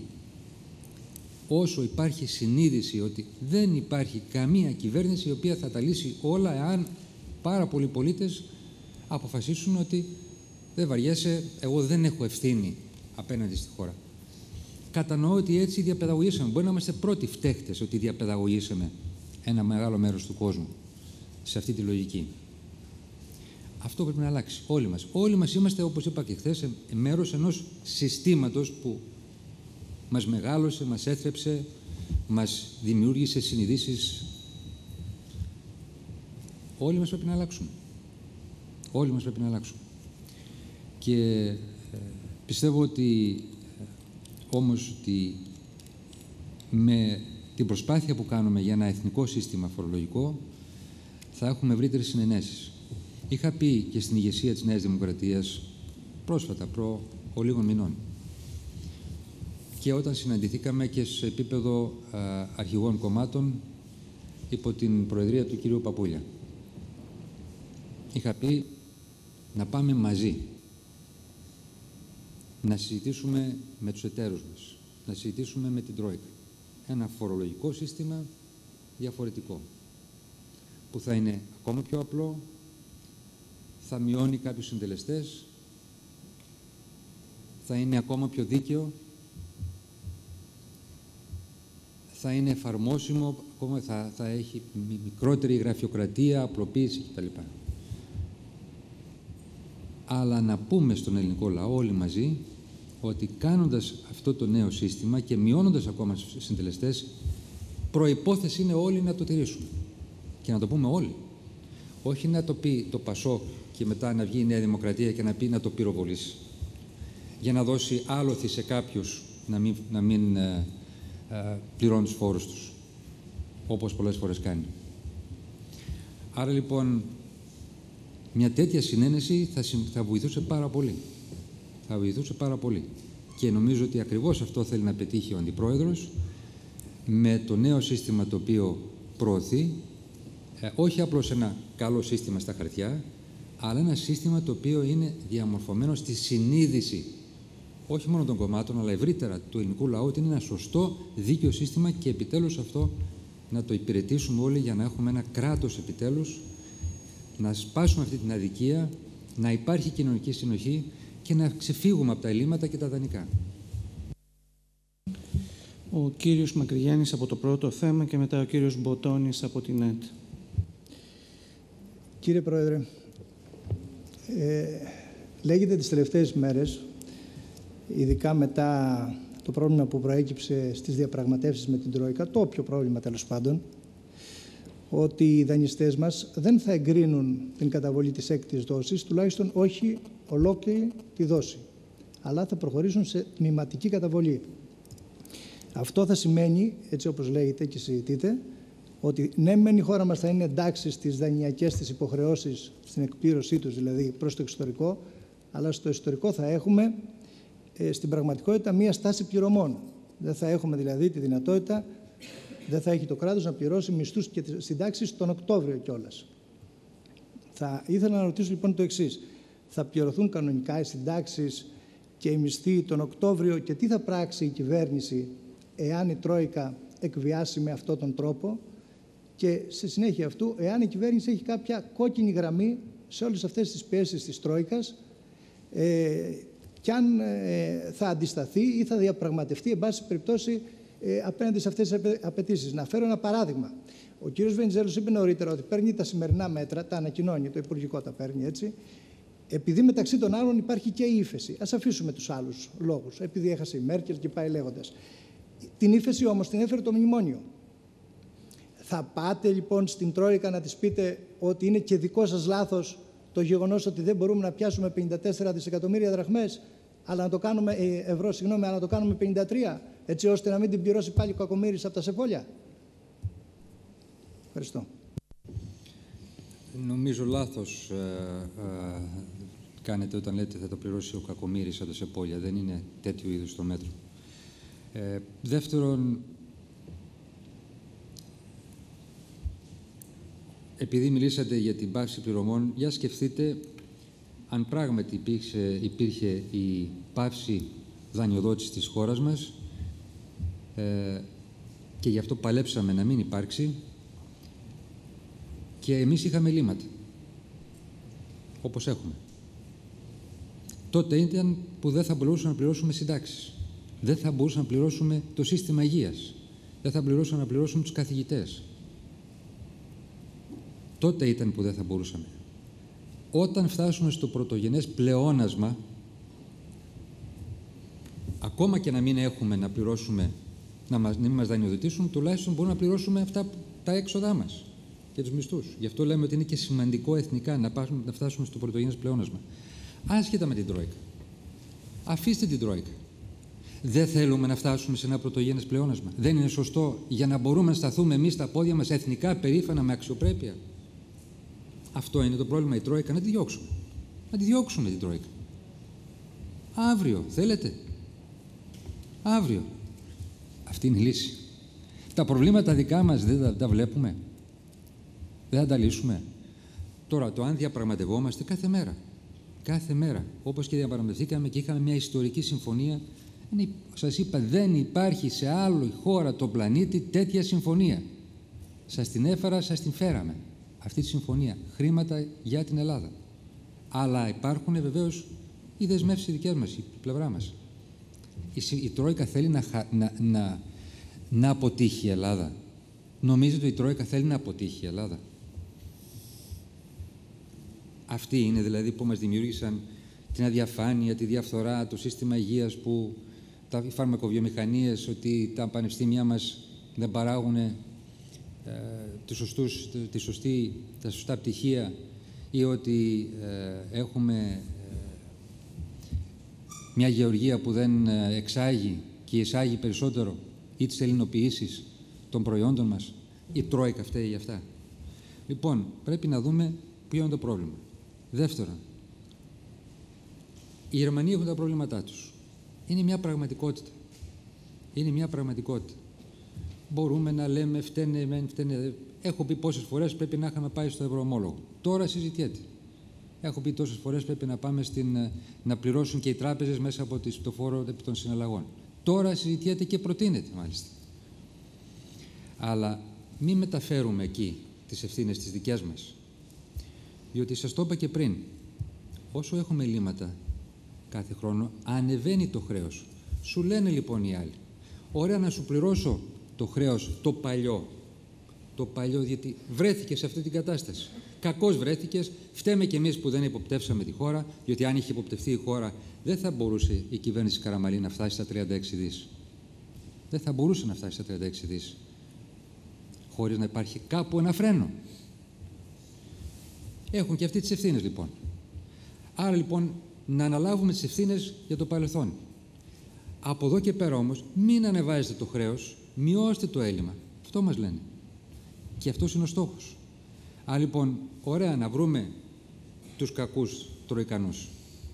Αλλά ως, ό,τι και να είναι, τελικά εμείς έχουμε ευθύνη, δικιά μας πατριωτική υποχρέωση, επιτέλους, είναι η δικιά μας αξιοπρέπεια, να σταθούμε στις δικές μας δυνάμεις, να δείξουμε ότι εμείς μπορούμε. Και έχουμε ένα κόστος. Έχουμε ένα κόστος. Όπως και έχουμε και ένα άδικο σύστημα. Αυτό θα το περάσουμε. Θα φτιάξουμε το σύστημα και το φτιάνουμε και το κόστος θα είναι μια επένδυση και είναι μια επένδυση για τη σταθερότητα και για το αύριο και την προοπτική μας. Ο κύριος Μποτώνης από την ΕΤ και μετά ο κύριος Κουρής από τη Real News. Κύριε Πρόεδρε, σας ακούσαμε και χθες και σήμερα να λέτε ότι πρέπει όλοι να βάλουν πλάτη για να βγει η χώρα από αυτό το οικονομικό τούνελ. Ε, είναι η μοναδική πρόταση, είναι μονόδρομος. Είναι σκληρός ο δρόμος, όπως είπατε, αλλά αυτό πρέπει να ακολουθήσουμε. Υπάρχει όμως και άλλη πρόταση. Υπάρχουν τα κόμματα τα οποία λένε ότι αυτή η κυβέρνηση είναι κακή, πρέπει να φύγει. Ε, αυτή η κυβέρνηση έχει βάλει τη χώρα σε περιπέτειες, την οδηγεί σε οικονομικό χάος, ξεπουλάει τη δημόσια περιουσία. Ε, οι δημοσκοπήσεις σας φέρνουν πάρα πολύ χαμηλά σε ποσοστά. Υπάρχουν οι πολίτες που διαμαρτύρονται, χθε στη Θεσσαλονίκη, προχθές στην Αθήνα. Υπάρχουν όμως και αντιδράσεις και μέσα στην ίδια την κοινοβουλευτική ομάδα και στο εσωτερικό του κόμματος. Μην ξεχνάμε ότι είχατε 160 βουλευτές, έχετε 154 και είχατε πει παλαιότερα ότι δεν μπορείτε να κυβερνήσετε με 153 έρδες. Αν ισχύει αυτή η δήλωσή σας και αν όσοι ζητούν εκλογές, όπως ο κύριος Σαμαράς, είναι ανεύθυνη πολιτική. Ευχαριστώ. Αν ήταν ε, καλή η προηγούμενη κυβέρνηση που μας έφερε στα 36 δις, ας μην έφευγε, ας μην έφευγε και ας μην φυγομαχούσε. Είχε δύο χρόνια ακόμα. Είχε δύο χρόνια ακόμα η παράταξη της Νέας Δημοκρατίας Είχε δύο χρόνια ακόμα. Θα μπορούσε να κυβερνήσει δύο χρόνια ακόμα. Θεωρητικός. Έτσι. Λοιπόν, ήθελε όμως και φυγομάχηση. Δεύτερο, νομίζετε θα λυθεί το πρόβλημα αν φύγει αυτή η κυβέρνηση; Το πρόβλημα της Ελλάδας θα λυθεί αν αύριο φύγει αυτή η κυβέρνηση, αν παραιτηθεί αυτή η κυβέρνηση; Τρίτον, μας μιλάνε για μειώσεις φόρων. Μα μειωμένους φόρους είχαμε το 2009. Μειωμένους φόρους είχαμε. Είχαμε ανάπτυξη. Μείον δύο. Άρα δεν είναι μειωμένοι φόροι που δημιουργούν την ανάπτυξη. Είχαμε καλή διαχείριση. Έλλειμμα 15%. Λοιπόν, εγώ καταλαβαίνω όλο τον πόνο, όλες τις δυσκολίες του πολίτη και συμμερίζομαι. Καταλαβαίνω ότι θίγεται ο καθένας. Ότι δίνει ο καθένας, άλλος περισσότερο, άλλος λιγότερο. Και προσπαθούμε με το πιο δίκαιο τρόπο. Όμως, αυτό που υπηρετούμε μπορεί να μην είναι το ειδικό συμφέρον του καθενός. Υπηρετούμε όμως το κοινό συμφέρον όλων. Υπηρετούμε το κοινό συμφέρον όλων. Επιτέλους να φτιάξουμε το κοινό συμφέρον, να υπηρετήσουμε επιτέλους το κοινό συμφέρον. Όχι το συμφέρον του ταξιτζή ξεχωριστά ή του γιατρού ξεχωριστά ή του, ή του επιχειρηματία ξεχωριστά. Να φτιάξουμε το κοινό συμφέρον, το κράτος, την ευνομία, το σωστό εκπαιδευτικό σύστημα, το σωστό σύστημα υγείας, τη διαφάνεια. Μια αναπτυξιακή πορεία που να στέκεται στα πόδια της η Ελλάδα, μια πράσινη ανάπτυξη, μια γεωργία που να στέκεται στα πόδια της. Αυτό είναι το κοινό συμφέρον. Αυτό θα φέρει δουλειές. Αυτό θα βοηθήσει όλους. Άρα λοιπόν να φύγουμε από το μικρό κοσμό μας και τον κλειστό μας, τα κλειστό, το κλειστό χώρο των δικών μας μικρών συμφερόντων να δούμε το ευρύτερο συμφέρον που τελικά θα κερδίσουμε όλοι. Μπορεί να χάσουμε λίγο σήμερα, αλλά θα κερδίσουμε όλοι πολλαπλά. Όπως πολλές χώρες το έχουν καταφέρει. Δεν είναι πρώτη φορά. Μπορεί να έχει ιδιαίτερες δυσκολίες η Ελλάδα, ιδιαίτερες δυσκολίες διότι είμαστε αυτή τη στιγμή με το μεγαλύτερο χρέος που έχει ποτέ μια χώρα, σαν την Ελλάδα αναπτυγμένη, και βεβαίως είμαστε σε μια ευρωζώνη με κάποια προβλήματα θεσμικής φύσης, συστημικής κρίσης. Άρα λοιπόν δεν είναι όλες οι συνταγές εύκολες, δεν υπάρχουν απλές συνταγές. Όμως είμαστε σε έναν σωστό δρόμο και θα τα καταφέρουμε. Ο κύριος Κουρέης από τη Real News και μετά ο κύριος Καμπουράκης από τον Ελεύθερο Τύπο. Real News και Real GR. Κύριε Πρόεδρε, να σας ρωτήσω το εξής με ειλικρίνεια και με τα γεγονότα. Πέρυσι τέτοια εποχή στην ΔΕΔ μας είπατε ότι θα βρεθούν χρήματα από τη φοροδιαφυγή και το 2013 θα βγούμε από το μνημόνιο. Εν συνεχεία, ο πρώην Υπουργός Οικονομικών είπε ότι αν υπάρχουν νέα μέτρα θα παραιτηθεί και δεν υπάρχει τέτοιο ενδεχόμενο. Το καλοκαίρι με την ε, απόφαση της 21ης Ιουλίου πανηγυρίσατε και παρότι πολλοί υπουργοί ήταν εδώ ως φυσική παρουσία, είναι σαφές ότι υπήρχε σοβαρό πρόβλημα στην λειτουργία της ε, κυβέρνησης. Αναγκαστήκατε την περασμένη εβδομάδα στο Υπουργικό Συμβούλιο να πάρετε έκτακτα μέτρα και σήμερα επίσης νέα έκτακτα μέτρα μετά από, και μάλιστα το πρωί πριν την ΔΕΔ σε μια έκτακτη πραγματική κατάσταση, γεγονός που και εσάς σας δυσκολεύει στη δημόσια παρουσία σας. Ήθελα να σας ρωτήσω συνολικά, είναι σαφές μάλλον ότι κάνατε μια προσπάθεια ανάκτησης εμπιστοσύνης των δανειστών αυτό το διάστημα και ήθελα να σας ρωτήσω μετά και τις χθεσινές διαδηλώσεις, όχι τα επεισόδια, διαδηλώσεις στη Θεσσαλονίκη, αν πάτε στο, άκρο, στο άλλο άκρο και χάνετε την ανάκτηση της εμπιστοσύνης των πολιτών, το οποίο είναι προπόθεση, φαντάζομαι το καταλαβαίνετε απολύτως, και για τις πρόορε εκλογές και για το ενδεχόμενο συγκυβέρνηση και οποιαδήποτε άλλη πολιτική εξέλιξη. Γιατί αυτό είναι που θα κρίνει και όχι όποιες διαβεβαιώσεις, ακόμα και του πιο φερέγγιου Πρωθυπουργού. Δεν κατάλαβα το ερώτημα, βέβαια. Η ανάλυση ήταν ενδιαφέρουσα. Όχι, όχι, ε... για την ανάκτηση της εμπιστοσύνης των πολιτών, ρωτώ και αν είναι παράγοντας. Γιατί μα, νομίζω ότι χάνεται σιγά αλλά σταθερά. Ε, εάν δεν υπηρετούσαμε το κοινό συμφέρον, το πατριωτικό συμφέρον, θα, είχαμε, ε, θα είχε σμπαραλιαστεί η χώρα. Το μεγάλο πρόβλημα στη χώρα μας είναι ακριβώς η εμπιστοσύνη του πολίτη σε αυτή την πολιτεία. Σήμερα είναι το πρόβλημα αυτό. Σήμερα είναι το πρόβλημα.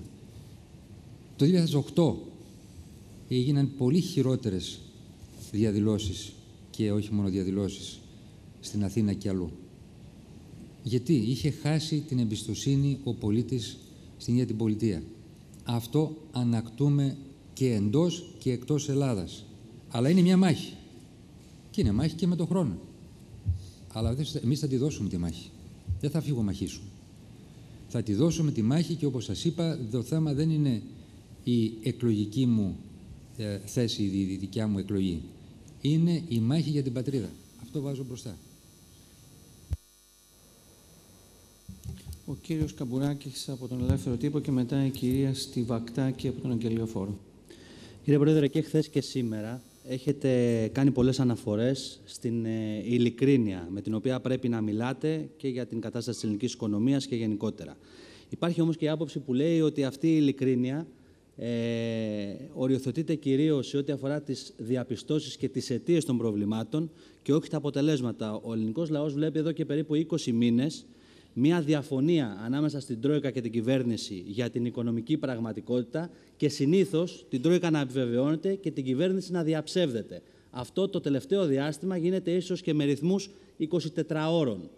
Το ερώτημα είναι αν η αλήθεια, κύριε Πρόεδρε, είναι πάρα πολύ δύσκολη τελικά. Δηλαδή, επειδή έχουμε φτάσει σε μια κατάσταση και κανένας δεν πιστεύει κανέναν, δεν απειλείται μόνο η οικονομία, απειλείται και η πολιτική, απειλείται και η κοινωνική υπόσταση του τόπου. Και λέω, μήπως η αλήθεια είναι πάρα πολύ δύσκολη, μήπως η αλήθεια είναι ότι δεν γνωρίζετε ούτε το βάθος των μέτρων, ούτε το χρονοδιάγραμμα των μέτρων, αλλά δεν τη λέτε διότι αυτό, η επίπτωση μάλλον αυτής της αλήθειας θα ήταν πολλαπλάσια και το βάρος πολύ μεγαλύτερο. Λοιπόν, μην ισοπεδώνουμε τα πάντα, γιατί αυτό είναι ακριβώς που κάνουμε και πολλές φορές στα μέσα ενημέρωσης υπάρχει αυτή η εύκολη καταστροφολογική, αυτή η ισοπεδώνουμε τα πάντα, τίποτα δεν λειτουργεί, όλοι είναι ειλικρινείς. Αυτά που ψηφίζουμε, αυτά που αποφασίζουμε και αυτά που πετυχαίνουμε είναι πολύ συγκεκριμένα. Και όπως είπα, είμαστε κοντά στον στόχο και χρειάζεται να φτάσουμε στο στόχο. Πολύ απλά, πολύ ειλικρινά. Και αυτό δεν είναι θέμα τρόικας, είναι θέμα να μπορέσουμε να κλειδώσουμε μια συμφωνία ιστορική για την Ελλάδα, για τον ελληνικό λαό και να τα κλειδώσουμε και στα κοινοβούλια. Σε όλες τα κοινοβούλια που θα ψηφίσουν που θα λένε για να δούμε κάνει η Ελλάδα ή δεν κάνει. Πετυχαίνει ή δεν πετυχαίνει. Και εκεί υπάρχουν και καλοθελητές, αλλά υπάρχουν και πολλοί κακοπροαίρετοι, που πολλοί, πολλοί θα θέλανε να μην επομιστεί η χώρα τους ένα βάρος για να βοηθήσει την Ελλάδα. Άρα λοιπόν ε, μην ψάχνουμε για ε, εχθρούς άλλους όταν ξέρουμε ότι ε, έχουμε και εμείς τις ευθύνες μας να αλλάξουμε τη χώρα και αυτό κάνουμε. Η κυρία Στιβακτάκη από τον Αγγελιοφόρο και μετά ο κύριος Μητράκης από τον κόσμο του επενδυτή. Κύριε Πρόεδρε, καλησπέρα. Ήθελα να σας ρωτήσω, επειδή το έχετε πει, το έχετε επαναλάβει πολλές φορές, το έχετε επισημάνει και σήμερα και χθες, ότι θα κάνετε ό,τι χρειαστεί για να είμαστε στους στόχους ως χώρα. Ε, και επειδή και πριν από λίγο είπατε ότι όλα γίνονται για το πατριωτικό συμφέρον, το ερώτημά μου είναι αν σε αυτά που είστε αποφασισμένος να κάνετε για ό,τι χρειαστεί για να είμαστε μέσα στους στόχους, υπάρχουν κόκκινες γραμμές. Ε, Παραδείγματος χάρη, θα, ε, δίνετε την, θα, θα προχωρούσατε στο να πουληθεί, τυχαίο παράδειγμα αναφέρω, ένα κομμάτι του λιμανιού της Θεσσαλονίκης ή όλο το λιμάνι, παραδείγματος χάρη σε βουλγαρικά συμφέροντα. Οι Βούλγαροι πάντοτε ήθελαν να έχουν μία διέξοδο στο Αιγαίο ε, ή να δοθεί κάποια διέξοδος ε, προς το Ιόνιο ε, στην τουρκική πλευρά. Θα ήθελα, αν έχετε τη δυνατότητα, μια απάντηση σε αυτό, αν υπάρχουν κόκκινες γραμμές στις αποφάσεις που θα ληφθούν από εδώ και πέρα, στο ό,τι χρειαστεί. Ευχαριστώ. Κοιτάξτε, νομίζω ότι μπορώ να σας απαντήσω με μια πολύ συγκεκριμένη πράξη δικιά μου, πριν από κάποιους μήνες όταν ε, τέθηκε, θα το θυμόσαστε, το θυμίζω γιατί καμιά φορά μιλάμε για το ε, αν διαπραγματευόμαστε ή δεν διαπραγματευόμαστε, είχε τέθει ότι οι χώρες σαν την Ελλάδα που μπαίνουν σε τέτοιους μηχανισμούς να, ε, τους, να τους αφαιρείται το δικαίωμα της ψήφου της ψήφου, για, όχι μόνο για τα οικονομικά θέματα, γιατί αυτό προβλέπεται στο Μάστριχ, αλλά για όλα τα θέματα, για όλα τα ευρωπαϊκά θέματα, δηλαδή να μην έχουμε ψήφο, να μην έχουμε ψήφο για τα εξωτερικά, να μην έχουμε ψήφο για τα μεταναστευτικά, να μην έχουμε ψήφο για τα αγροτικά, να μην έχουμε ψήφο για τα κονδύλια, για τον προϋπολογισμό. Και εκεί είπα ότι, δεν θα πω ακριβώς την φράση που, που χρησιμοποίησα, είπα ότι κόκκινη γραμμή. Δεν δεχόμαστε αυτή την, αυτή την ε, πρόταση. Και υπήρξε πολύ έντονη και σκληρή αντιπαράθεση. Πολύ έντονη και σκληρή αντιπαράθεση. Άρα λοιπόν ναι, βεβαίως έχουμε κόκκινες γραμμές και είναι το εθνικό συμφέρον της χώρας. Ο κύριος Μητράκης από τον κόσμο του επενδυτή και μετά η κυρία Σαββοπούλου από το ΣΤΑΡ. Κύριε Πρόεδρε, καλησπέρα. Χθες και σήμερα μιλήσατε για λάθη που έγιναν από την πλευρά της κυβέρνησης αυτά τα δύο χρόνια. Ε, θα ήθελα να ρωτήσω αν μπορείτε να μας ε, πείτε ποια είναι τα δύο-τρία σημαντικότερα από αυτά τα λάθη, τι κόστος είχαν αυτά για την οικονομία, αφού αυτό είναι το μεγάλο πρόβλημα της χώρας, και αν ε, πλήρωσε κανείς, αν τιμωρήθηκε κανείς, εννοώ ε, από το πολιτικό προσωπικό, για αυτά τα λάθη. Ε, το μεγαλύτερο λάθος μας θα ήταν να μην είχαμε πάρει αποφάσεις όπως δεν πήρε η προηγούμενη κυβέρνηση. Δηλαδή να είχαμε μείνει με αδράνεια, να μην αναλαμβάναμε τις ευθύνες μας και να μην ε, παίρναμε πολύ δύσκολες αποφάσεις. Όταν παίρνεις αποφάσεις, και μάλιστα όταν παίρνεις και αποφάσεις υπό την πίεση του χρόνου, βεβαίως θα γίνουν και λάθη. Βεβαίως θα δοκιμάσεις μια, ε, ένα νέο, ε, μια νέα πολιτική και θα δεις πώς θα προχωρήσει. Όπως παραδείγματος χάρη το θέμα των αποδείξεων. Κανένας δεν ήξερε ότι το θέμα των αποδείξεων που ήταν ένα θετικό και το χειροκρότησε ο κόσμος. Θα γινόταν όμως και σε χέρια κάποιων και ένας τρόπος για να μπορούν να μαζεύουν λεφτά για προϊόντα που δεν αγοράσαν και οι ίδιοι, έτσι. Λοιπόν, με αποτέλεσμα να δημιουργήσει προβλήματα στην, ε, στα έσοδά μας. Άρα λοιπόν, βεβαίως, αυτά θα υπάρχουν. Το θέμα δεν είναι αν γίνονται τα λάθη, διότι δεν υπάρχει κανένας πουθενά στον κόσμο που όταν εφαρμόζει μια πολιτική δεν θα δει εμπόδια και θα, θα γίνει, κάνει και λάθη. Το θέμα είναι αν έχουμε τη δύναμη, και εμείς την έχουμε, όχι μόνο όταν αναγνωρίζουμε, να τα διορθώνουμε και να βάζουμε πάλι το καράβι στη σωστή τροχιά, στο σωστό δρόμο, στη σωστή κατεύθυνση. Και θύελες θα υπάρχουν και εμπόδια θα υπάρξουν, αλλά ξέρουμε που πάμε. Γι' αυτό πρέπει να κάνουμε και διορθωτικές κινήσεις. Όσο όλοι στηρίξουν, και δεν μπορεί είναι μια κυβέρνηση, ας τα βγάλει αυτή πέρα, σε μια κρίσιμη κατάσταση, όσοι όλοι βοηθήσουν με τον τρόπο τους. Τόσο πιο γρήγορα και τόσο πιο αποτελεσματικά θα φτάσουμε στο στόχο μας και τόσο πιο γρήγορα θα φύγουμε από αυτή την περιδίνηση. Άρα λοιπόν αυτό είναι το μήνυμά μου. Βεβαίως μια κυβέρνηση θα κάνει και τα λάθη της, τα διορθώνει όταν είναι, ε, ειλικρινή, όταν είναι με ειλικρίνεια ε, και όταν έχει στόχο πολύ συγκεκριμένο. Και έχουμε στόχους πολύ συγκεκριμένους. Η κυρία Σαββοπούλα από το ΣΤΑΡ και μετά ο κύριος Πίκουλας από την Αξία.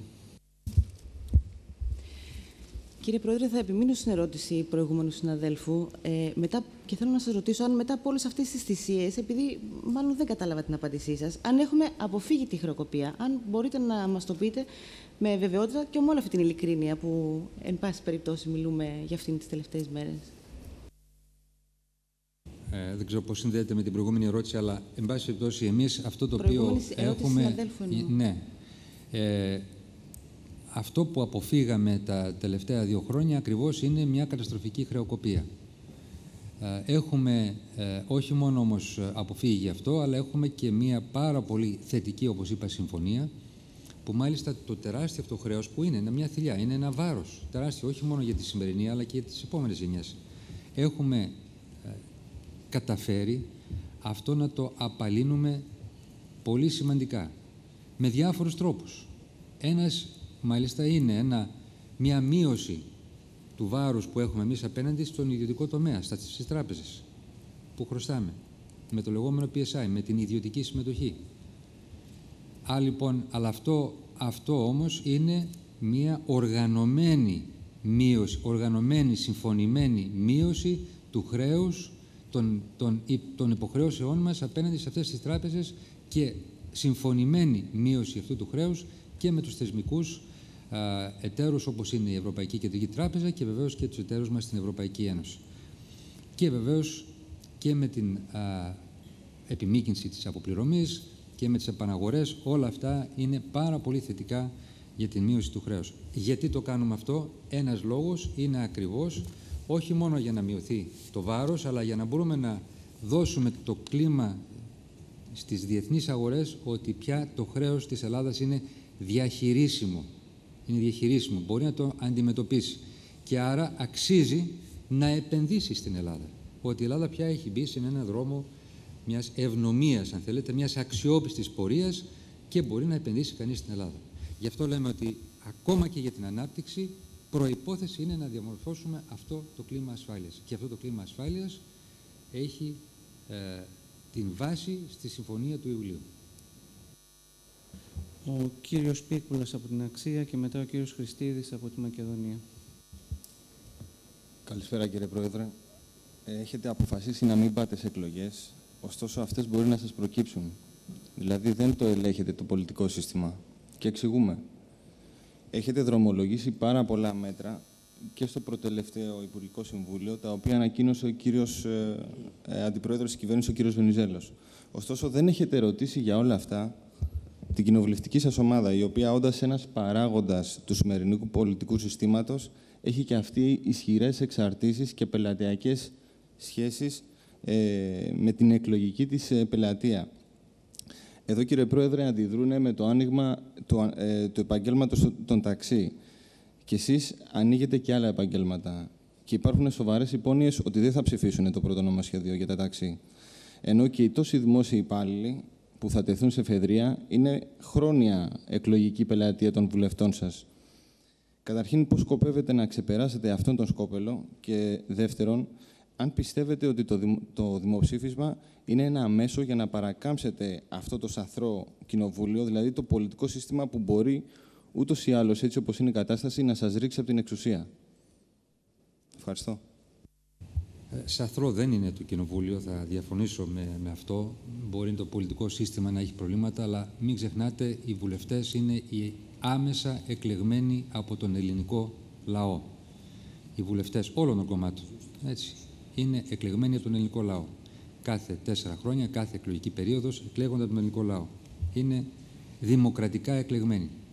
Εκφράζουν και έχουν χρέος να εκφράσουν τις αγωνίες, τα αιτήματα, τα προβλήματα του ελληνικού λαού.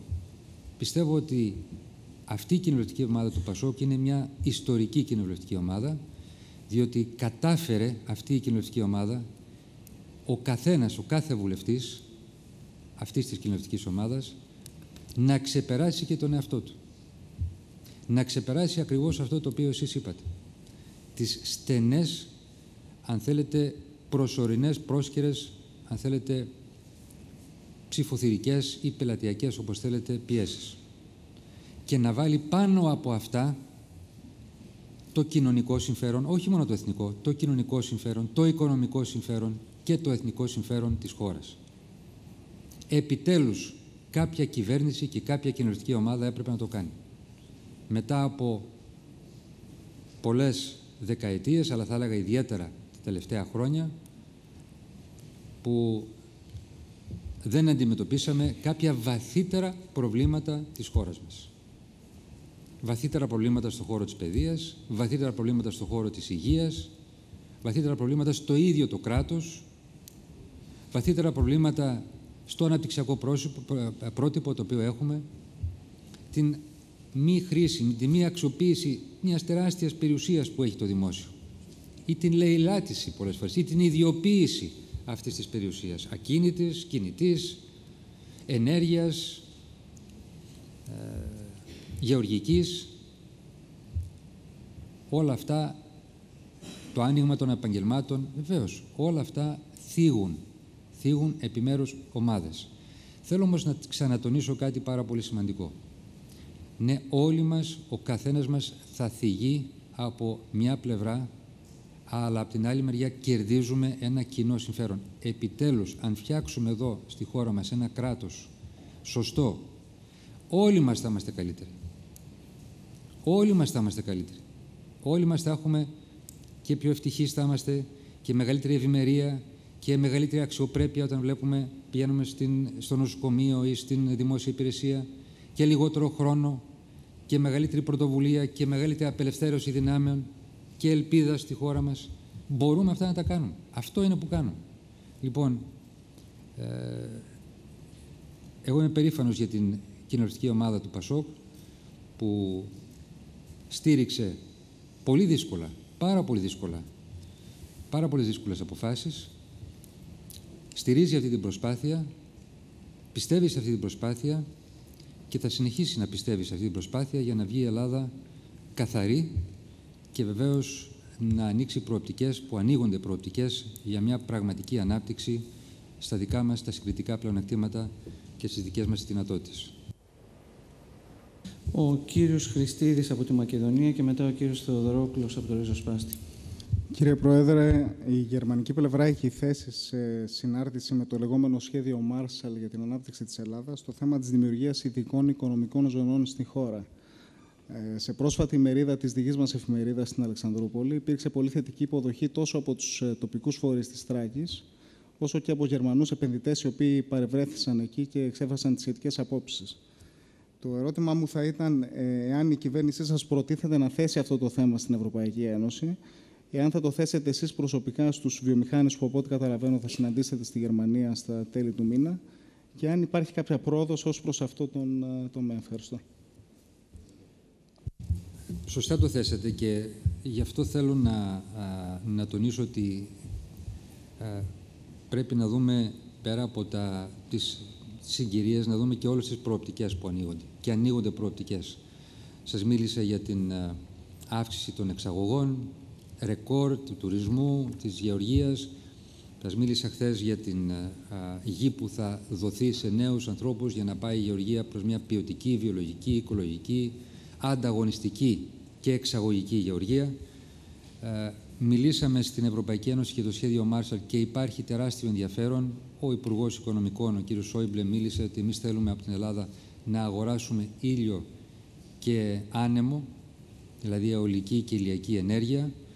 Ήδη υπάρχει τεράστιο ενδιαφέρον για επενδύσεις στην Ελλάδα, διότι όπως ξέρετε η Γερμανία έχει πάρει μια απόφαση μετά ιδιαίτερα από το ατύχημα Φουκουσίμα να κλείσει τα πυρηνικά εργοστάσια, να μην ανανεώσει τα πυρηνικά εργοστάσια και να μην επεκταθεί.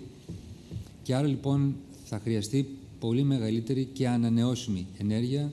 Υπήρχε ένα μεγάλο project με μεγάλη πρόταση για το λεγόμενο Desert Tech για την, που θα γινόταν στην Σαχάρα για ηλιακή ενέργεια, όμως λόγω και της Αραβικής Άνοιξης και των εξελίξεων εκεί ε, υπάρχει ε, ένα ερώτημα για την σταθερότητα της περιοχής. Ε, όμως, ούτως ή άλλως, μια τέτοια μεγάλη επένδυση θα έπρεπε να περάσει από τις μεσογειακές χώρες και συζητήσαμε με τους Γερμανούς και είπαμε γιατί να μην ξεκινήσουμε με την Ελλάδα, με τις υποδομές, με τα δίκτυα που θα χρειαστούν στα νησιά μας, στις, στις παιδιάδες μας, ένα με εκτεταμένο δίκτυο ενεργειακό πάνω στο οποίο θα στηθούν τα φωτοβολταϊκά και όποια άλλα όποιες άλλες ανανεώσιμες πηγές ενέργειας και θα δώσουμε, μπορεί να δώσουμε μέχρι και 10 και 15 ε, χιλιάδες ΜΒ στην Γερμανία για, με, με τεράστια ποσά για την χώρα μας και βεβαίως ε, έσοδα και δουλειές για τη χώρα μας. Ενδιαφέρονται πάρα πολύ διότι είναι και για αυτούς ωφέλιμο. Εμείς έχουμε 1,5 φορά παραπάνω ήλιο ηλιοφάνεια από ό,τι έχει στη Γερμανία και αυτοί επιδοτούν τα φωτοβολταϊκά, άρα λοιπόν για αυτούς είναι και ένα σημαντικό κέρδος. Δείχνει απλώς τις δυνατότητες που έχει η χώρα μας. Όπως βεβαίως και στη Θράκη, στη Βόρεια Ελλάδα, το θέμα της γεωθερμίας, που είχαμε; Πολλά χρόνια. Τι είχαμε κάνει, τώρα έχουμε πάει σε τρεις-τέσσερις προκηρύξεις νομίζω, για να προωθήσουμε τη γεωθερμία. Είχαμε αυτές τις δυνατότητες. Όπως μιλήσαμε και χθες και για το πετρέλαιο και για το φυσικό αέριο.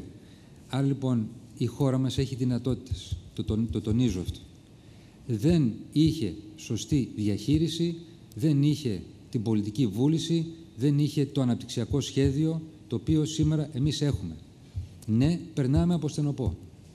αλλά παράλληλα βάζουμε τις βάσεις και προσελκύουμε και τους επενδυτές για μια διαφορετική ανάπτυξη. Χρειαζόμαστε όμως τη σταθερή βάση πάνω στην οποία θα έρθει και ο άλλος ο επενδυτής. Σταθερή βάση είναι πρώτα απ' όλα να διασφαλίσουμε αυτό το οποίο είπαμε τις αποφάσεις 21ης Ιουλίου, τη συμφωνία του Ιουλίου και βεβαίως να κάνουμε και πολλές θεσμικές αλλαγές, μείωση του δημοσίου, της γραφειοκρατίας, διαφάνεια, να χτυπήσουμε τη διαφθορά. Εγώ ξέρω πολλούς επενδυτές, το έχω πει και άλλες φορές, ε, και Έλληνες της Διασποράς, που σου λένε να έρθω στην Ελλάδα, ναι, αλλά δεν θα μπλέξω με τη γραφειοκρατία και δεν θα μπλέξω με τη διαφθορά. Άρα λοιπόν ένας καλός επενδυτής ε, θέλει να έχει ένα σωστό κράτος. Και μάλιστα τώρα με την ευκαιρία να πω ότι θα ανακοινώσουμε τις επόμενες μέρες ένα συμβούλιο ε, για επενδύσεις της Διασποράς με σημαίνοντα πρόσωπα, προσωπικότητες από όλη την ε, Διασπορά, οι οποίοι είναι σημαντικοί και στον επιχειρηματικό κόσμο, οι οποίοι θα συμβάλλουν και αυτοί σε όλη την προσπάθειά μας και στο θέμα της, ε, των επενδύσεων και στο θέμα των ε, αποκρατικοποίησεων. Άρα πολύ θετικοί είμαστε βεβαίως για αυτές τις ε, πρωτοβουλίες και όπως πολύ σωστά είπατε, εγώ τέλη Σεπτέμβρη θα είμαι με την κυρία Μέρκελ στη Γερμανία με, σε συνάντηση που γίνεται ετήσια των βιομηχάνων, μια μεγάλη, ένα μεγάλο συνέδριο των βιομηχάνων, είμαι προσκεκλημένος από τους βιομηχάνους, για να συζητήσουμε ακριβώς όλες τις προοπτικές σοβαρών επενδύσεων σε αυτή την νέα αναπτυξιακή, αναπτυξιακή πορεία της χώρας μας. Ο κύριος Θεοδωρόπουλος από το Ριζοσπάστη και μετά ο κύριος Μουρελάτος από το 984. Κύριε Πρωθυπουργέ, μας είπατε ότι τα μέτρα που έχετε πάρει και αυτά που ανακοινώσατε πρόσφατα είναι τμήμα ενός πατριωτικού αγώνα. Σε αυτόν στέλνετε τους εργαζόμενους σε επιχειρηματικές συμβάσεις των 500 ευρώ και από τους δημόσιους υπαλλήλους απαιτείται να δουλέψουν με μισθό-μισθό. Κόβεται από τι συντάξει των 400 και 500 ευρώ, οδηγείτε 500 εργαζομένους τη μέρα στην ανεργία και ετοιμάζετε να πωλήσετε και δημοσίους υπαλλήλους ή να τους βάλετε στην εφεδρεία. Σήμερα ανακοινώσατε νέα εισπρακτικά μέτρα όταν, τα μικρομάγαζα και τα, όταν στα μικρομάγαζα μπαίνει το ένα λουκέτο μετά το άλλο και τα λαϊκά νοικοκυριά στενάζουν κάτω από την πίεση των μέτρων. Από αυτό το πατριωτικό πόλεμο, κύριε Πρόεδρε, απέχουν στο επίπεδο του αίματος που δίνουν τα λαϊκά στρώματα οι μεγάλες επιχειρήσεις, οι τράπεζες, οι βιομήχανοι, οι εφοπλιστές. Και σας ρωτώ, πόση βαρβαρότητα θα υποστούν ακόμα οι εργαζόμενοι προκειμένου να μην πληρώσουν την κρίση οι μεγάλοι επιχειρηματικοί και τραπεζικοί όμιλοι που τη δημιούργησαν, συσσωρεύοντας όλα τα προηγούμενα χρόνια τεράστια κέρδη; Αυτή τη βαρβαρότητα παλεύουμε, γι' αυτό είμαστε σοσιαλιστές, γι' αυτό ε, Παλεύουμε για ένα κράτος δικαίου, διαφάνειας, ένας, ένα φορολογικό σύστημα δίκαιο, αλλά ο κόσμος δεν είναι ούτε αγγελικά ούτε σοσιαλιστικά πλασμένος. Ε, ζούμε σε ένα δύσκολο καπιταλιστικό σύστημα, όμως και μέσα σε αυτό το σύστημα υπάρχουν περιθώρια στα οποία μπορούμε να κινηθούμε και να δώσουμε και αγώνες, και όχι μόνο στην Ελλάδα, αλλά και διεθνώς. Όμως, αυτή τη στιγμή ε, η Ελλάδα βρίσκεται στο κάλεσμα να μπορεί να σταθεροποιηθεί για να μπορέσει να βάλει τάξη. Διότι ακριβώς αυτές οι αδικίες, αυτές οι ανισότητες, αυτή η αδιαφάνεια είναι το οποίο δημιούργησε αυτό το έλλειμμα που σήμερα και αυτό το χρέος που σήμερα πληρώνει ο ελληνικός λαός. Δηλαδή, πραγματικά ένα σύστημα κράτους δικαίου, μια δικαιοσύνη που θα λειτουργεί, ένα σύστημα πρόνοιας που θα είναι σωστό, ακριβώς αυτό το σύστημα είναι το οποίο αν υπήρχε δεν θα είχαμε φτάσει εδώ που είμαστε σήμερα. Αλλά αυτό όμως είναι θεωρητικό, γιατί έχουμε φτάσει σήμερα σε αυτή τη μάχη. Έχουμε φτάσει σήμερα σε, αυτό το, σε αυτά τα προβλήματα. Άρα λοιπόν πρέπει αυτά να τα λύσουμε. Με θυσίες, ναι, αυτά θα τα λύσουμε. Αλλά παράλληλα να κάνουμε και τις αλλαγές. Τις αλλαγές μεγάλες και αυτές κάνουμε, οι οποίες φέρνουν ένα κράτος δικαίου. Δεν είναι δίκαιο όταν εμείς πια φορολογούμε μεγαλοφιλέτες, όταν, όταν εμείς δημοσιοποιούμε τους, ε, τους καταλόγους των μεγαλοφιλετών, όταν κάνουμε κατάσχεση για πρώτη φορά 500 και πόσο σκαφών, όταν σταματούμε συμβάσεις γιατρών ή μεγαλογιατρών ή μικρών γιατρών, δεν έχει σημασία, διότι δεν συνταγογραφούν σωστά και παρανομούν. Αυτά δεν είναι προς όφελος του εργαζόμενου. Αυτά δεν είναι προς όφελος του συνταξιούχου. Αυτά δεν είναι προς όφελος του ασφαλισμένου. Και τελικά και η επιχειρησιακή σύμβαση. Μα το πρόβλημα σήμερα δεν είναι η επιχειρησιακή σύμβαση. Είναι η έλλειψη σύμβασης. Είναι η έλλειψη οποιασδήποτε συλλογικής έκφρασης του άνεργου, του, του, ε, του εργαζόμενου σε μια μικρή επιχείρηση. Ο συνδικαλισμός αυτά τα ξέρει, αλλά αυτά πρέπει να δει. Να οργανώσουμε πράγματι τον εργαζόμενο. Ας υπάρξει έστω αυτή η επιχειρησιακή σύμβαση. Εγώ θα ήθελα όμως και για το θέμα της εφεδρείας και για το θέμα των επιχειρησιακών συμβάσεων, αλλά και το πρόγραμμα για την ανεργία, να πάρει το λόγο και ο Γιώργος ο Κουτρουμάνης, να μας πει δύο λόγια, και ο Δημήτρης Ωρέπας.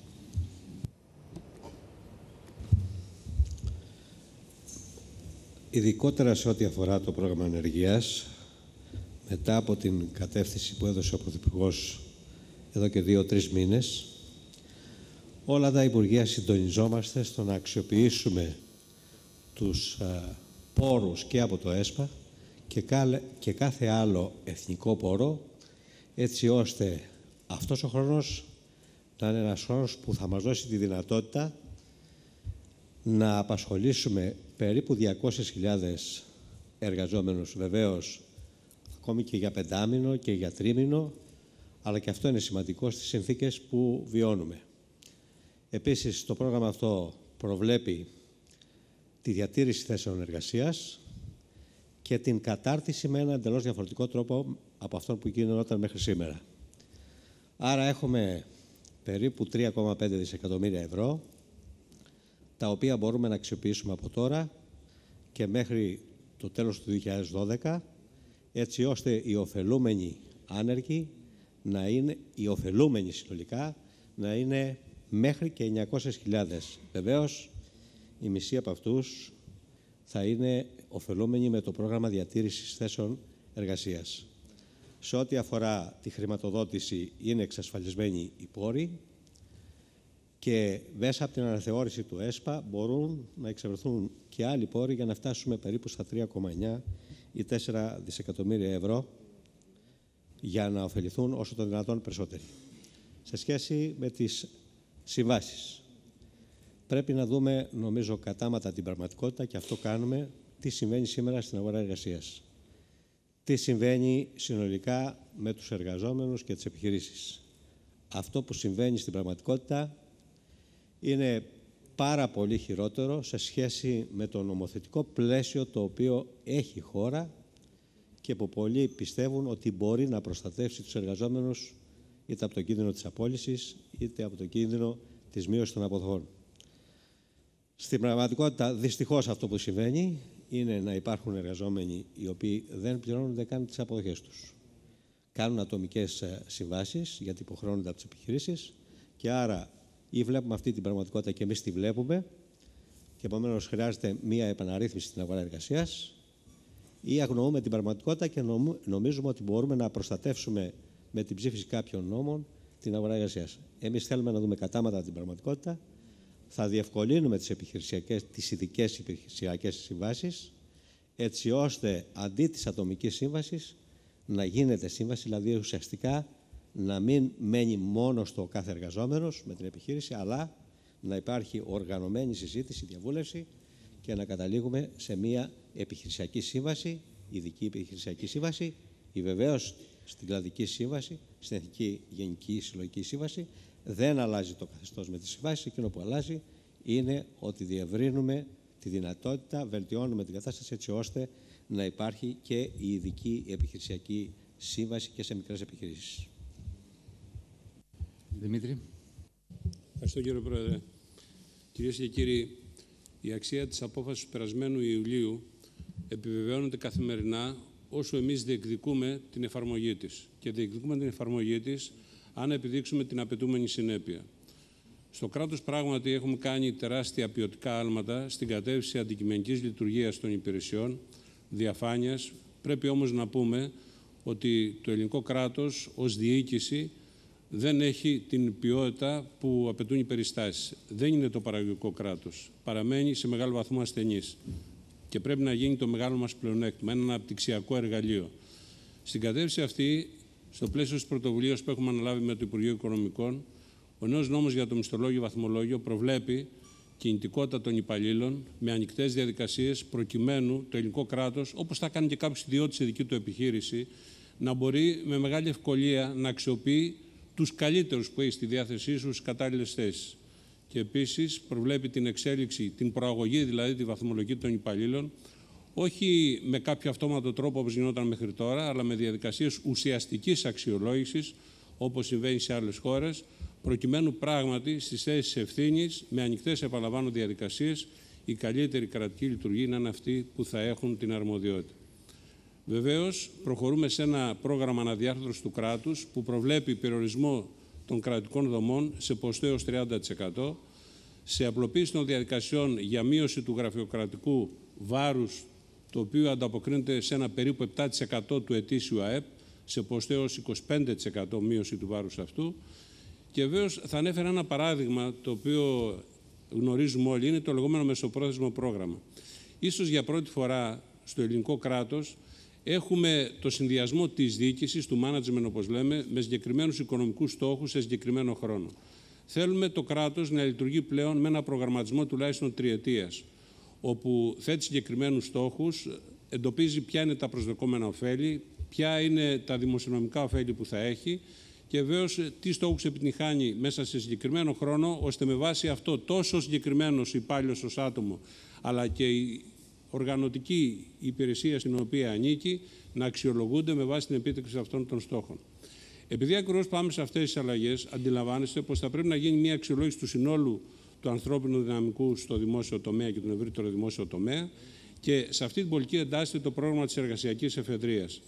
Όποιοι κριθεί ότι ανήκουν στο λεγόμενο πλεονάζον προσωπικό εντάσσονται σε αυτό το πεδίο των σχέσεων με το ελληνικό κράτος της εργασιακής εφεδρείας έχουν για 12 μήνες την δυνατότητα να παραμένουν στο καθεστώς αυτό το πολύ 12 μήνες λαμβάνοντας αποδοχές στο ύψος του 60% των αποδοχών τους, ενώ ταυτόχρονα με την δυνατότητα που έχουν λόγω των προσόντων τους θα διεκδικούν μια θέση τακτικού προσωπικού σε ποστό έως 10%, μια θέση μέσω συμβάσεων ορισμένου χρόνου σε ποστό έως 30% και κατά προτεραιότητα μια θέση σε προγράμματα μερικής απασχόλησης. Ταυτόχρονα θα έχουν τη δυνατότητα βεβαίως να εντάσσονται, αν προκύψει μια τέτοια επιλογή, σε προγράμματα συνταξιοδοτικά.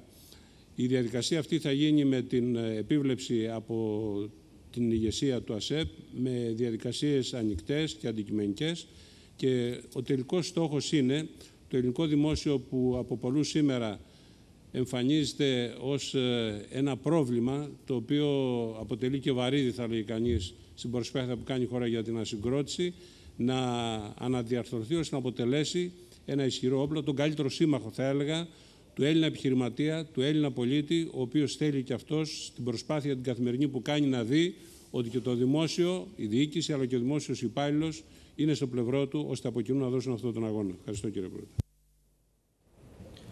Ο κύριος Μουρελάτος από το 984 και μετά ο κύριος Μελικόνης από την Αυγή.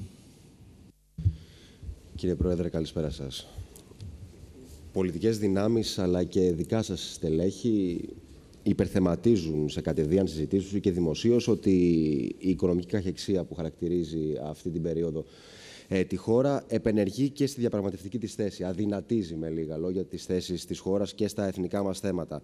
Και το ρωτώ αυτό γιατί θέλω την ε, αντίδραση, την επίσημη αντίδραση της Αθήνας σε αυτό που φαίνεται να, μπαίνουμε, να εισερχόμαστε σε μια φάση νέας τουρκικής επιθετικότητας. Προσφάτως ε, η Άγκυρα απείλησε εμέσως πριν σαφώς ότι θα βλέπουμε συχνότερα τις φρεγάτες της στην Ανατολική Μεσόγειο, εφόσον Κύπρος και Ισραήλ ενεργοποιήσουν τη συμφωνία για υποθαλάσσιες έρευνες νοτίως ε, της Κύπρου.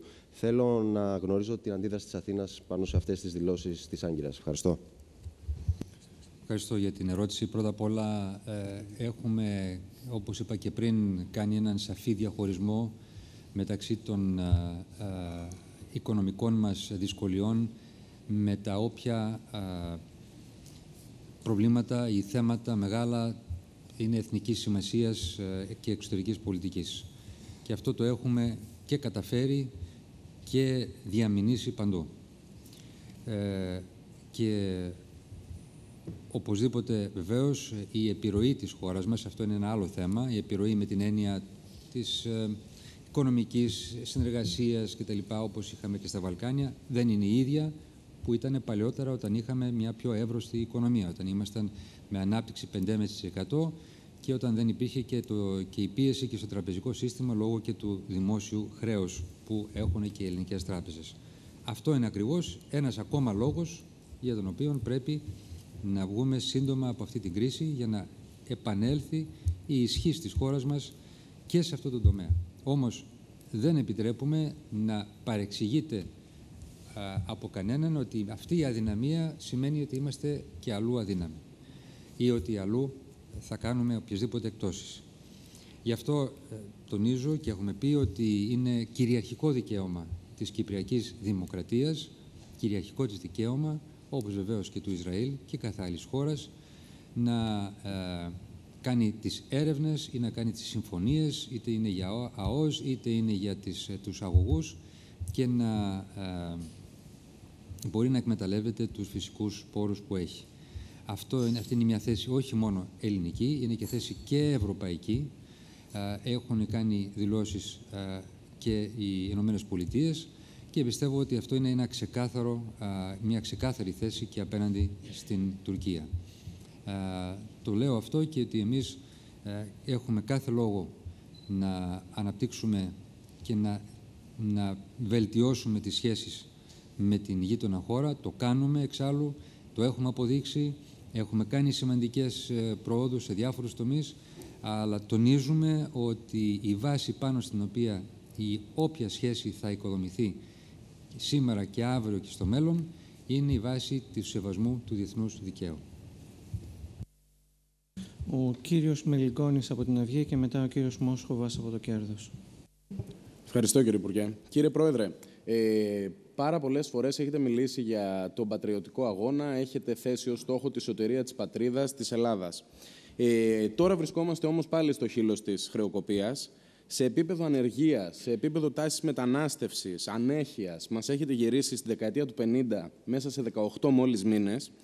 Και με βάση αυτό, από τη στιγμή που συνεχίζετε να αυξάνετε τη δόση ενός θανατηφόρου φαρμάκου και όχι να αλλάζετε τη συνταγή, θα ήθελα να σας ρωτήσω για λογαριασμό ποιου σώζετε τη χώρα. Έχετε δηλαδή υπόψη σας ότι εκτός από το να σώσετε την Ελλάδα, πρέπει να σώσετε και τους Έλληνες; Και σας ρωτάω, διότι όταν χθες ε, σας φάνηκε αρκετό να έχει κάθε οικογένεια από έναν εργαζόμενο, είναι προφανές νομίζω ότι η σωτηρία στην οποία αναφέρεστε εσείς δεν είναι σωτηρία που αφορά την κοινωνία. Ένα παράδειγμα. Ε, μίλησε ο κύριος Βενιζέλος ε, το μεσημέρι ε, για το ότι θα καλέσει τον εφοπλιστικό κόσμο να μετάσχει στην προσπάθεια υπέρβασης της κρίσης. Το περίφημο ναυτιλιακό πετρέλαιο, το σκανδαλωδώς αφορολόγητο ναυτιλιακό πετρέλαιο, θα σκεφτείτε ποτέ να το καταργήσετε πριν σκεφτείτε, για παράδειγμα, να εξισώσετε τους φόρους στα πετρέλαια θέρμανσης και κίνησης. Ευχαριστώ. Ε, έχω πει πολλές φορές ότι εάν δεν είχαμε, εάν δεν είχαμε κάνει τις κινήσεις και αν δεν είχαμε τη δανειοδότηση, θα είχαμε κλείσει το Εθνικό Σύστημα Υγείας. Όλο. Λέω ένα παράδειγμα. Όλο. Θα είχαμε συντάξεις μείωση 70%. 70% στις συντάξεις. Θα είχαμε δημόσιους υπαλλήλους στο δρόμο. Πολλούς. Πιθανώς θα είχαν καταρρεύσει οι τράπεζές μας και μαζί και μαζί και τα αποθέματα, τους, οι κόποι πάρα πολλών οικοκυριών. Αυτό θα είχαμε. Και μην το αμφισβητείτε. Γιατί πολλοί μιλάνε και λένε τι έγινε στη Λατινική Αμερική. Βεβαίως, δέστε όταν χρεοκόπησαν χώρες τι έγινε στη Λατινική Αμερική. Δέστε τι έγινε σε αυτές τις χώρες. Δεν χρειάζεται να επειδή πολλές λένε γιατί μας κάνατε, μας φέρατε εκ το δούνο του κτλ. Δέστε όμως τι έγινε όταν χρεοκόπησαν. Λοιπόν, αυτό σώσαμε. Με ένα κόστος. Αλλά σκεφτείτε τι θα ήταν, πώς θα ήταν. Εμείς φέραμε όμως την Ελλάδα στη δεκαετία του 50. Εμείς ήμασταν εκείνοι που, κάνα, που, που, που φτιάξαμε το έλλειμμα 36 δισεκατομμύρια το 2009. Διπλασιάστηκε σχεδόν το χρέος της χώρας μας σε 5,5 χρόνια. Εμείς το κάναμε, αυτή η κυβέρνηση. Αυτή η καυτή πατάτα που μας την πέταξαν οι προηγούμενοι δηλαδή δεν έχουν καμία ευθύνη. Καμία ευθύνη. Και εμείς που μειώνουμε το έλλειμμα και εμείς που έχουμε το μεγαλύτερο πακέτο που υπάρχει ποτέ στον πλανήτη μας για να χρηματοδοτήσουμε τα προβλήματα του παρελθόντος για να μην καταστραφούμε, για να μην χρεοκοπήσουμε. Γι' αυτό δεν έχουμε κάνει κάτι για τη χώρα.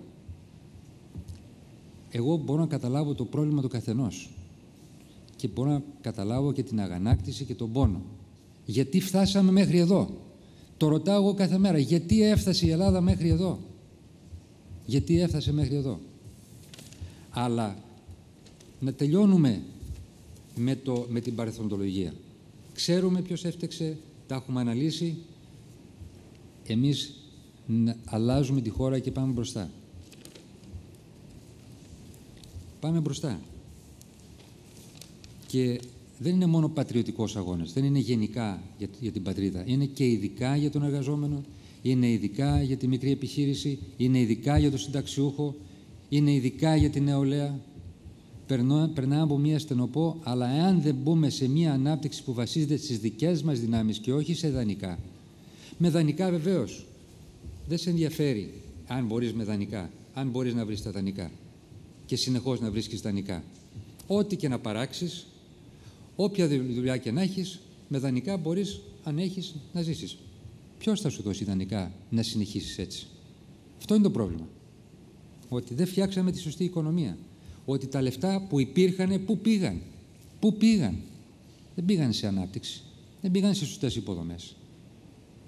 Πήγαν σε τεράστιες πατάλες. Και έχουμε και δυνατότητες πολλές ακόμα. Μακάρι αυτά να είχαν γίνει, γιατί δεν θα χρειαζόμαστε να πάρουμε, να ζητήσουμε από τον Έλληνα πολίτη τόσες θυσίες.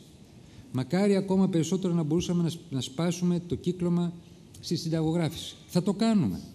Μακάρι να σπάσουμε το κύκλωμα στις προμήθειες. Θα το κάνουμε όταν η μία προμήθεια που περιμέναμε να, να, να κοστίσει στο, στο, στο, στο Υπουργείο Υγείας 1.200.000 ευρώ με την ηλεκτρονική προμήθεια που πρώτη φορά κάναμε στη χώρα μας, πρώτη φορά κάναμε στη χώρα μας, ενώ θα μπορούσαμε να το κάνουμε πριν από 10 χρόνια. Η Τουρκία το έχει κάνει εδώ και χρόνια.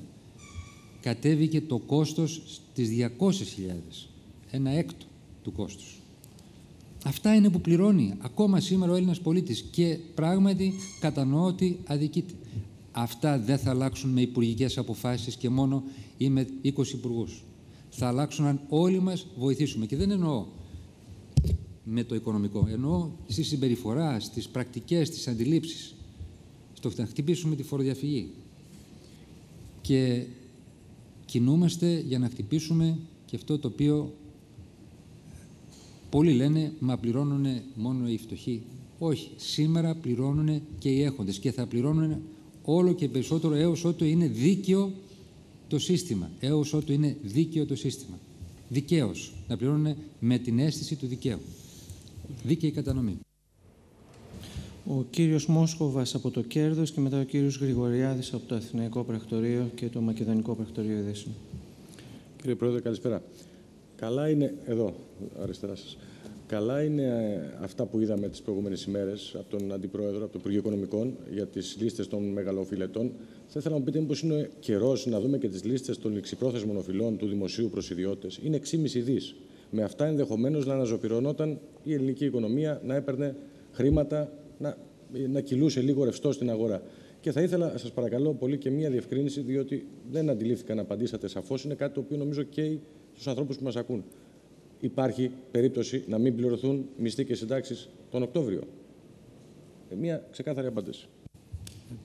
Ακριβώς δίνουμε τη μάχη συνεχώς, ακριβώς για να μπορούμε να πληρώνουμε διαλύπτω τις συντάξεις και του μισθούς των Ελλήνων που πληρώνονται από το κράτος. Και αυτό θα συνεχίσει. Αυτός είναι ο αγώνας που δίνουμε. Και αυτό εγγυόμαστε. Αυτή η κυβέρνηση αυτό εγγυάται. Όμως για το για άλλο θέμα θα ζητούσα από τον Υπουργό Οικονομικών να πει δύο λόγια. Πράγματι, το δημόσιο χρωστάει λεφτά σε επιχειρήσεις. Σε επιχειρήσεις, μάλιστα, που έχουν εκδώσει τιμολόγια και οι συνεπείς επιχειρήσεις έχουν πληρώσει και το φόρο προστιθέμενης αξίας. Το πρόγραμμα, όπως έχει αποφασίσει στις 21 Ιουλίου, μόλις εφαρμοστεί πλήρως, θα μας επιτρέψει να εξοφλήσουμε και αυτές τις ληξιπρόθεσμες και συσσωρευμένες οφειλές του δημοσίου και να πέσει χρήμα στην αγορά. Αυτό είναι ένας από τους άμεσους στόχους μας και γι' αυτό είπα ότι έχουν τόση μεγάλη κρισιμότητα οι επόμενοι δύο μήνες. Και εδώ εντάσσεται και το πρώτο σκέλος ερώτησης, στο οποίο απάντησε νομίζω πάρα πολύ καθαρά ο Πρωθυπουργός. Προσπάθειά μας είναι ακριβώς να καταβάλλονται οι μισθοί και οι συντάξεις. Να μπορούν να λειτουργούν τα σχολεία και τα νοσοκομεία. Αυτό σημαίνει να έχουμε ταμιακά διαθέσιμα, αυτό σημαίνει να καλύπτονται οι δανειακές ανάγκες της χώρας. Γι' αυτό είμαστε μέσα στο πρόγραμμα.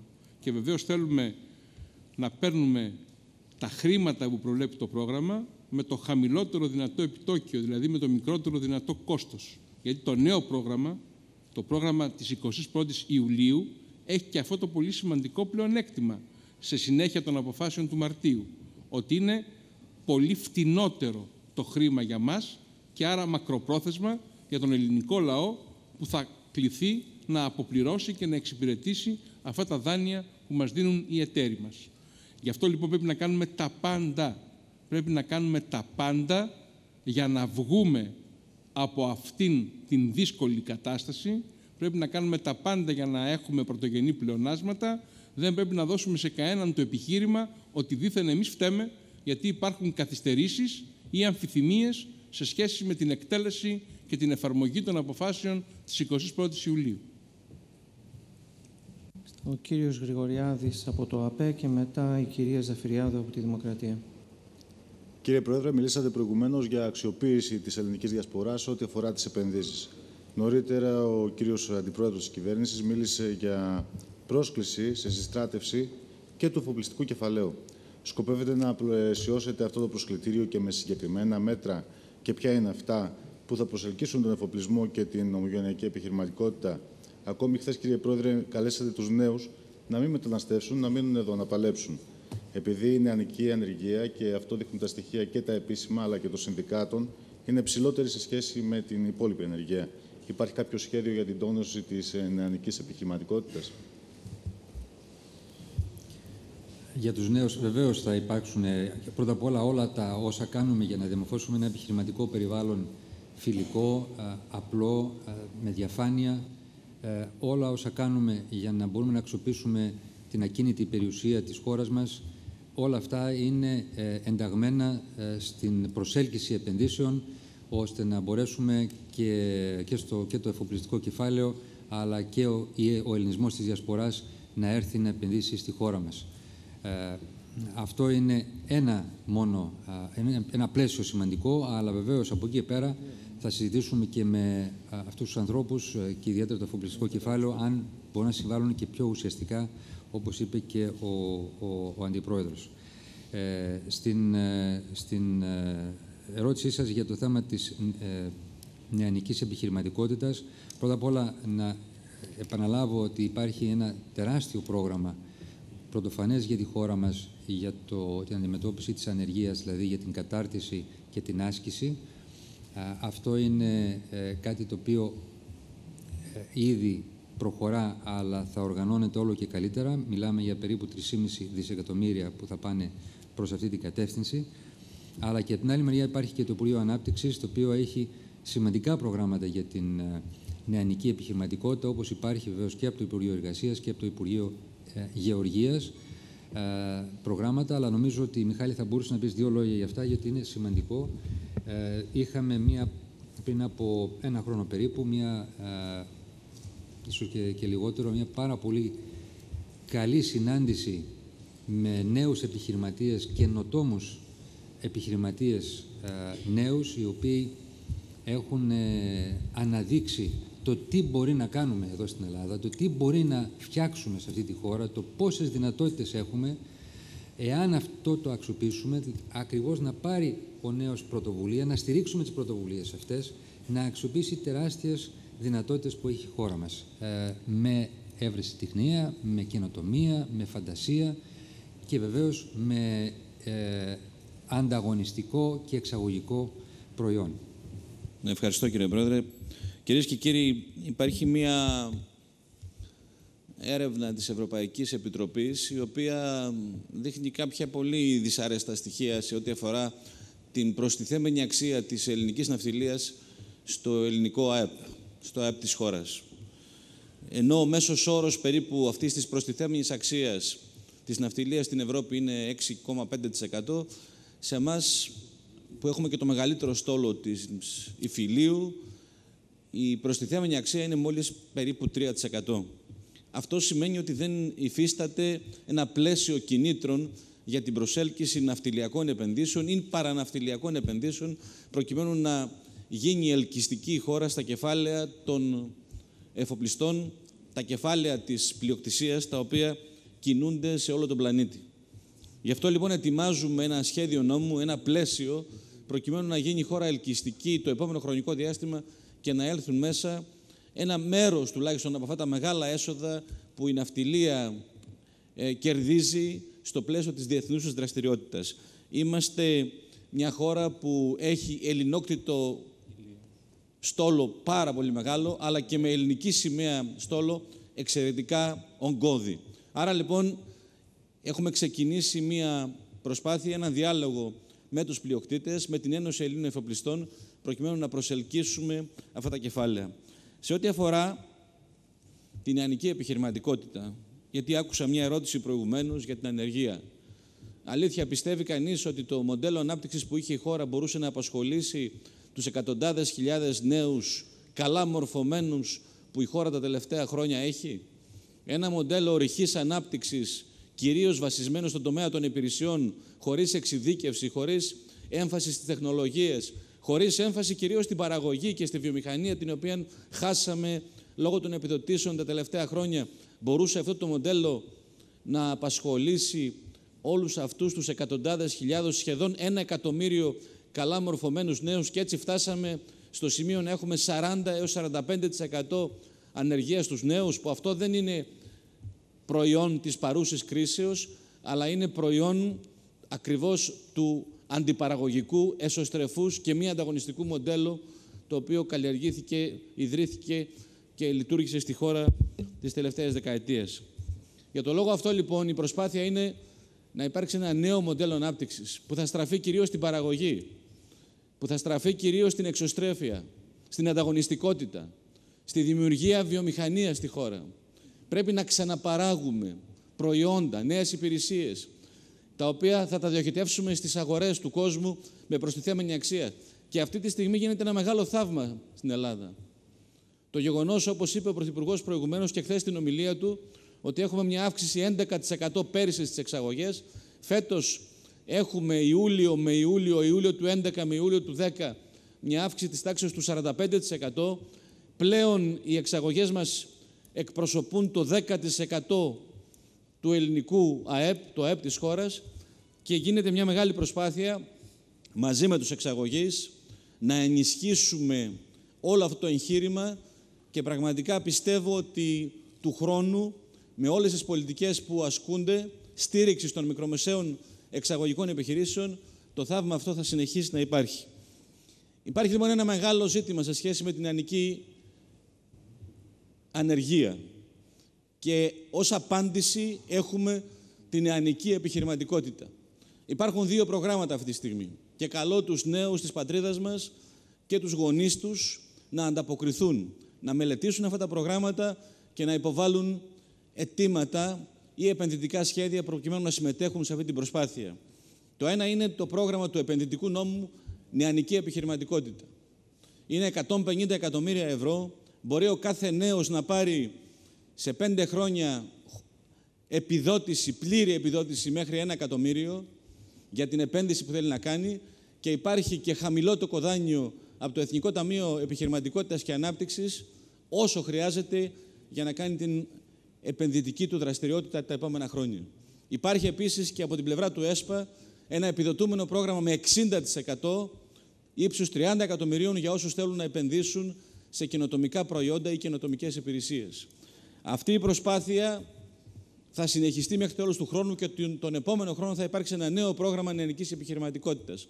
Ελπίζουμε και ευελπιστούμε ότι αυτό το ελκυστικό πρόγραμμα θα αποτελέσει πόλο έλξης για τους νέους που είναι ανήσυχοι, που θέλουν, έχουν μια τολμηρή ιδέα, που έχουν μια ιδέα σε σχέση με την παραγωγή, είτε αυτή είναι πρωτογενής, είτε είναι μεταποίηση, είτε είναι στον τομέα των νέων τεχνολογιών, ούτως ώστε να την κάνουν πράξη, πράξη για τη ζωή τους και έτσι να μπορέσουν να αποκτήσουν εισόδημα, να δημιουργήσουν θέσεις απασχόλησης και να ευημερήσουν. Θα ήθελα επίσης, κύριε Πρόεδρε, να μου επιτρέψετε να πω δύο λόγια ακόμα για το θέμα των επενδύσεων. Επιχειρούμε μια μεγάλη προσπάθεια προκειμένου να προσελκύσουμε άμεσες ξένες επενδύσεις στη χώρα, γιατί αυτό είναι το ζητούμενο αυτή τη στιγμή. Έχουμε λοιπόν συνομιλίες με χώρες μέλη της Ευρωπαϊκής Ένωσης, όπως η Γερμανία, η Ολλανδία, η Γαλλία, ενδιαφέρονται σημαντικά και σοβαρά για να επενδύσουν στον τομέα των υποδομών, στον τομέα της ενέργειας, όπως ανέφερε προηγουμένως ο Πρωθυπουργός, στον τομέα της διαχείρισης υγρών και στερεών αποβλήτων στα σκουπίδια, ενδιαφέρονται για τα ζητήματα που έχουν να κάνουν με τη βιομηχανία τροφίμων, ενδιαφέρονται για τις μεγάλες υποδομές τις οποίες η χώρα πρέπει να φτιάξει το επόμενο χρονικό διάστημα. Θέλω επίσης να σας πω ότι στο πλαίσιο της επιτάχυσης της απορρόφησης του ΕΣΠΑ, αυτή τη στιγμή γίνεται μια μεγάλη επιχείρηση προκειμένου ένα πρόγραμμα κολλημένο, ένα πρόγραμμα πλήρως γραφειοκρατικό, ένα πρόγραμμα το οποίο δεν έχει καμιά σχέση με τις ανάγκες της χώρας, διότι το 65% ήταν πρόγραμμα κατασκευής δρόμων. Σήμερα ουσιαστικά αναθεωρείται όλο, καταργούνται και απεντάσσονται έργα νεκρά. Ήδη πριν από λίγες μέρες εντάχθηκαν 1929 έργα και ο ρυθμός απορρόφησης γίνεται πολύ έντονος και πολύ ταχύς με έμφαση στην επιχειρηματικότητα για να αντιμετωπίσουμε την κρίση. Ευχαριστώ πολύ κύριε Πρόεδρε. Η κυρία Ζαφυριάδου από τη Δημοκρατία και μετά η κυρία Σπανού από το ΦΛΑΣ. Σας ευχαριστώ. Καλησπέρα κύριε Πρόεδρε. Τις προηγούμενες ημέρες ένας Αυστριακός Ευρωβουλευτής με μία ερώτησή του στο Ευρωκοινοβούλιο έθεσε ένα θέμα που αφορά σε εσάς. Αναφέρθηκε στη γνωστή υπόθεση των CDS για την περίπτωση χρεοκοπίας της χώρας μας. Σας εγκαλεί για κερδοσκοπία και κάνει λόγο για χρυσοφόρα επιχείρηση και για κάποια ποσά 22 δις ευρώ. Καλώντας μάλιστα την Κομισιόν να δώσει εξηγήσεις για αυτά. Ήθελα το σχόλιο σας και αν μου επιτρέπετε μία διευκρίνηση επί προηγούμενων ερωτημάτων, επειδή είπατε πολλές φορές ότι δεν θα φυγομαχήσετε, ήθελα να σας ρωτήσω αν στο τέλος αυτής της μάχης, όποτε και αν είναι, θα ηγηθείτε εσείς του Πασόκ στι επόμενες εκλογές. Ε, προτρέχεται για τις εκλογές. Όπως είπαμε δεν πάμε σε εκλογές και θα δώσουμε τη μάχη και για μένα το πρόβλημά μου δεν είναι ε, η, ε, η θέση μου, είναι το συμφέρον της χώρας. CDS δεν ήξερα τι ήταν πριν αρχίσουν να παίζουν με το χρέος της χώρας. Ούτε έχω δει CDS. Και θα θεωρούσα ότι μην αναπαράγεται αυτές τις φημολογίες, ε, οι οποίες ε, και αυτές ε, δείχνουν την έλλειψη δικαίου στη χώρα μας. Δεν είναι μόνο και εκείνοι που πρέπει να τιμωρούνται να τιμωρούνται, που δεν τιμωρούνται, αλλά είναι και εκείνοι που, που συκοφαντούνται, που πολλές φορές δεν βρίσκουν το δίκαιο τους. Και όλη αυτή η υπόθεση είναι μια αστεία υπόθεση και στενοχωρία μόνο ότι και κάποιοι βουλευτές της ε, παράδεξης της ε, προηγούμενης κυβέρνησης που θα έπρεπε να είχαν μείνει στο Κοινοβούλιο όταν εμείς αντιμετωπίζαμε τις υποθέσεις.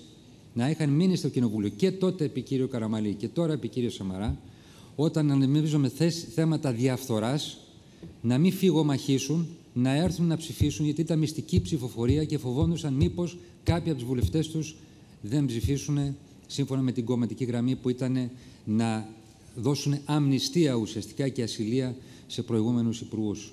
Άρα λοιπόν ε, είναι κρίμα, είναι κρίμα ότι τέτοιες, ε, τέτοια ζητήματα ανακυκλώνονται που δεν έχουν καμία βάση. Ε, και είναι από τα θέματα τα οποία εμείς άμεσα θέλουμε η δικαιοσύνη να δώσει απάντηση άμεση ακριβώς για να μην μπορούν να κυκλοφορούν αυτές οι, οι, οι διάφορες συνωμοσιολογικές, ε, συνωμοσιολογικές ε, ιστορίες. Διότι και πριν από λίγο, πριν από μερικούς μήνες, θυμάμαι ότι ήταν συνωμοσία μια, μια ομιλία του, του προηγούμενου διοικητή της, του Διεθνούς Νομισματικού Ταμείου, του κ. Στραουσκάν, ότι ήταν συνωμοσία δικιά μου με τον, με τον κύριο Στραουσκάν, ε, ότι η Ελλάδα μπήκε στην, σε αυτή την υπόθεση, όπως ε, δηλαδή ήταν μια συνωμοσία ότι εγώ θα μπορούσα να δημιουργήσω μια συνωμοσία, να μπει και η Ιρλανδία, να μπει και η Πορτογαλία, να απειλείται η Ιταλία, να απειλείται η Ισπανία, να απειλείται η διεθνής ύφεση, να ξεφύγουμε επιτέλους από αυτά τα αστεία πράγματα. και να δούμε την πραγματικότητα. Η πραγματικότητα είναι ότι παραλάβαμε μια χώρα και μια οικονομία με τεράστια προβλήματα, σε ύφεση, με τεράστια ελλείμματα και κάνουμε το παν για να σώσουμε αυτή τη χώρα και θα τα καταφέρουμε. Η κυρία Σπανό από το ΦΛΑΣ και μετά η κυρία Καρολίδου από την Αυτεμπορική. Ε, γνωρίζετε ή πιστεύετε ότι υπάρχουν εγχώριες δυνάμεις που θα επιθυμούσαν έξοδο της Ελλάδας από την Ευρωζώνη για δικούς τους ιδιωτελείς λόγους; Και σας ρωτάω γιατί έχετε αναφερθεί στο παρελθόν σε πρωθυπουργούς δραχμής. Υπάρχουν τέτοια σενάρια. Δεν ξέρω αν υπάρχουν χώρες ή α, κυβερνήσεις, δεν έχω ακούσει ποτέ να μιλούν α, επισήμως για έξοδο της Ελλάδας. Όμως ε, θεωρώ ότι ε, πρώτα απ' όλα εμείς αυτά τα σενάρια, όπως σας είπα, με τις δικές μας κινήσεις, με τις δικές μας κινήσεις θα τα, θα τα αντιμετωπίσουμε, αλλά και παράλληλα θεωρώ ότι ε, δεν έχουν και μία σοβαρότητα ακόμα και για την Ευρωζώνη, διότι το να φύγει μία χώρα, δεν λέω για την Ελλάδα, μία οποιαδήποτε χώρα, λόγω κάποιου οικονομικού προβλήματος, θα δημιουργήσει ένα ντόμινο, μία πίεση σε επόμενες χώρες και θα μείνει ως πληγή, αν όχι η αρχή της διάλυσης, όλου αυτού του συστήματος. Είναι λοιπόν αυτό το οποίο κάνουμε ως χρέος μας, πρώτα απέναντι στον ελληνικό λαό, είναι και χρέος και προς την Ευρώπη, σηκώνουμε ένα βάρος και προς την Ευρώπη, που είναι βέβαιο προς όφελός μας, διότι θεωρούμε ότι αυτή η νομισματική ένωση είναι σημαντική όχι μόνο για οικονομικούς λόγους, αλλά για την πολιτική συνοχή της Ευρώπης, θα έλεγα και την ασφάλειά μας ακόμα, το κύρος μας, τη δύναμή μας σε ένα διεθνές περιβάλλον που αλλάζει γρήγορα, που έχει νέες απειλές, που όπως οι συνάδελφοί σας είπαν και πριν, μπορούμε να έχουμε εξελίξεις στην περιοχή, ήδη έχουμε εξελίξεις στην περιοχή ε, με, την, με την Αραβική Άνοιξη, ήδη, ήδη έχουμε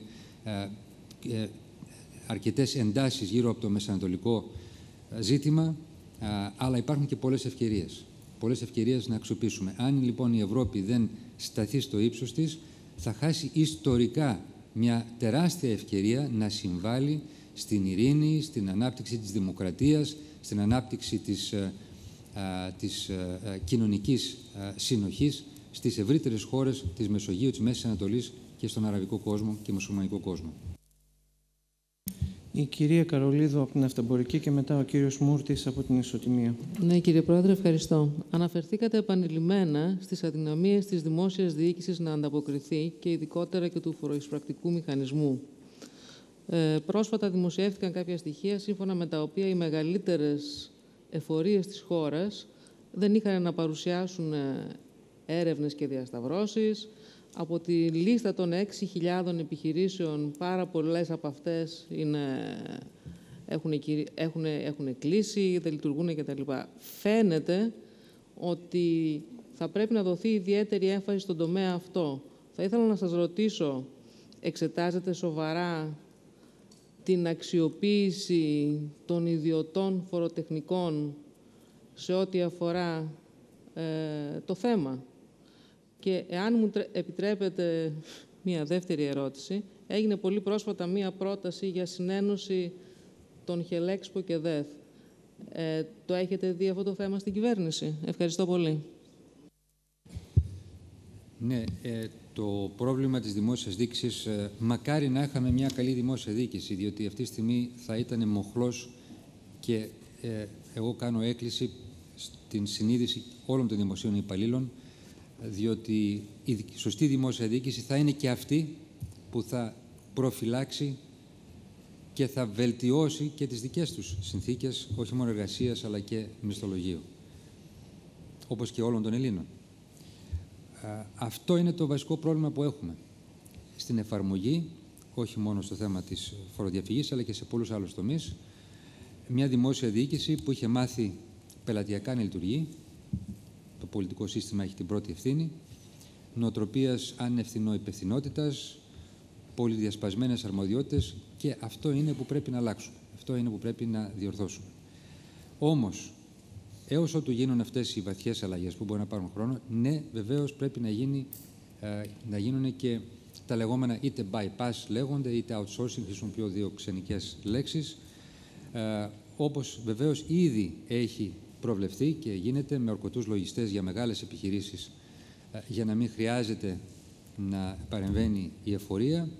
Ε, όπως ε, γνωρίζω από την, ε, τις συζητήσεις που έχουμε με τον Αντιπρόεδρο θα γίνει και ένα είδους outsourcing για, την, για το κυνήγι των μεγαλοφιλετών και βεβαίως μπορούμε να δούμε και παραπέρα όταν το σύστημα δεν λειτουργεί με τον κατάλληλο τρόπο.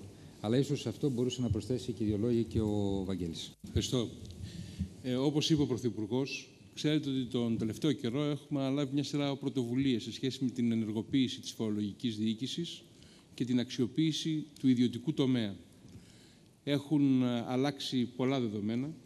Η Γενική Γραμματεία Πληροφοριακών Συστημάτων στέλνει κάθε μέρα καταλόγους με διασταυρώσεις που πρέπει να γίνουν και ελέγχους που πρέπει να αποταχθούν και κάθε μέρα η Γενική Γραμματεία Φορολογικών και Τελωνιακών Θεμάτων με ηλεκτρονική αλληλογραφία επισημαίνει σε κάθε δημόσια οικονομική υπηρεσία ποιες παραλήψεις υπάρχουν ή ποιες αδράνειες υπάρχουν.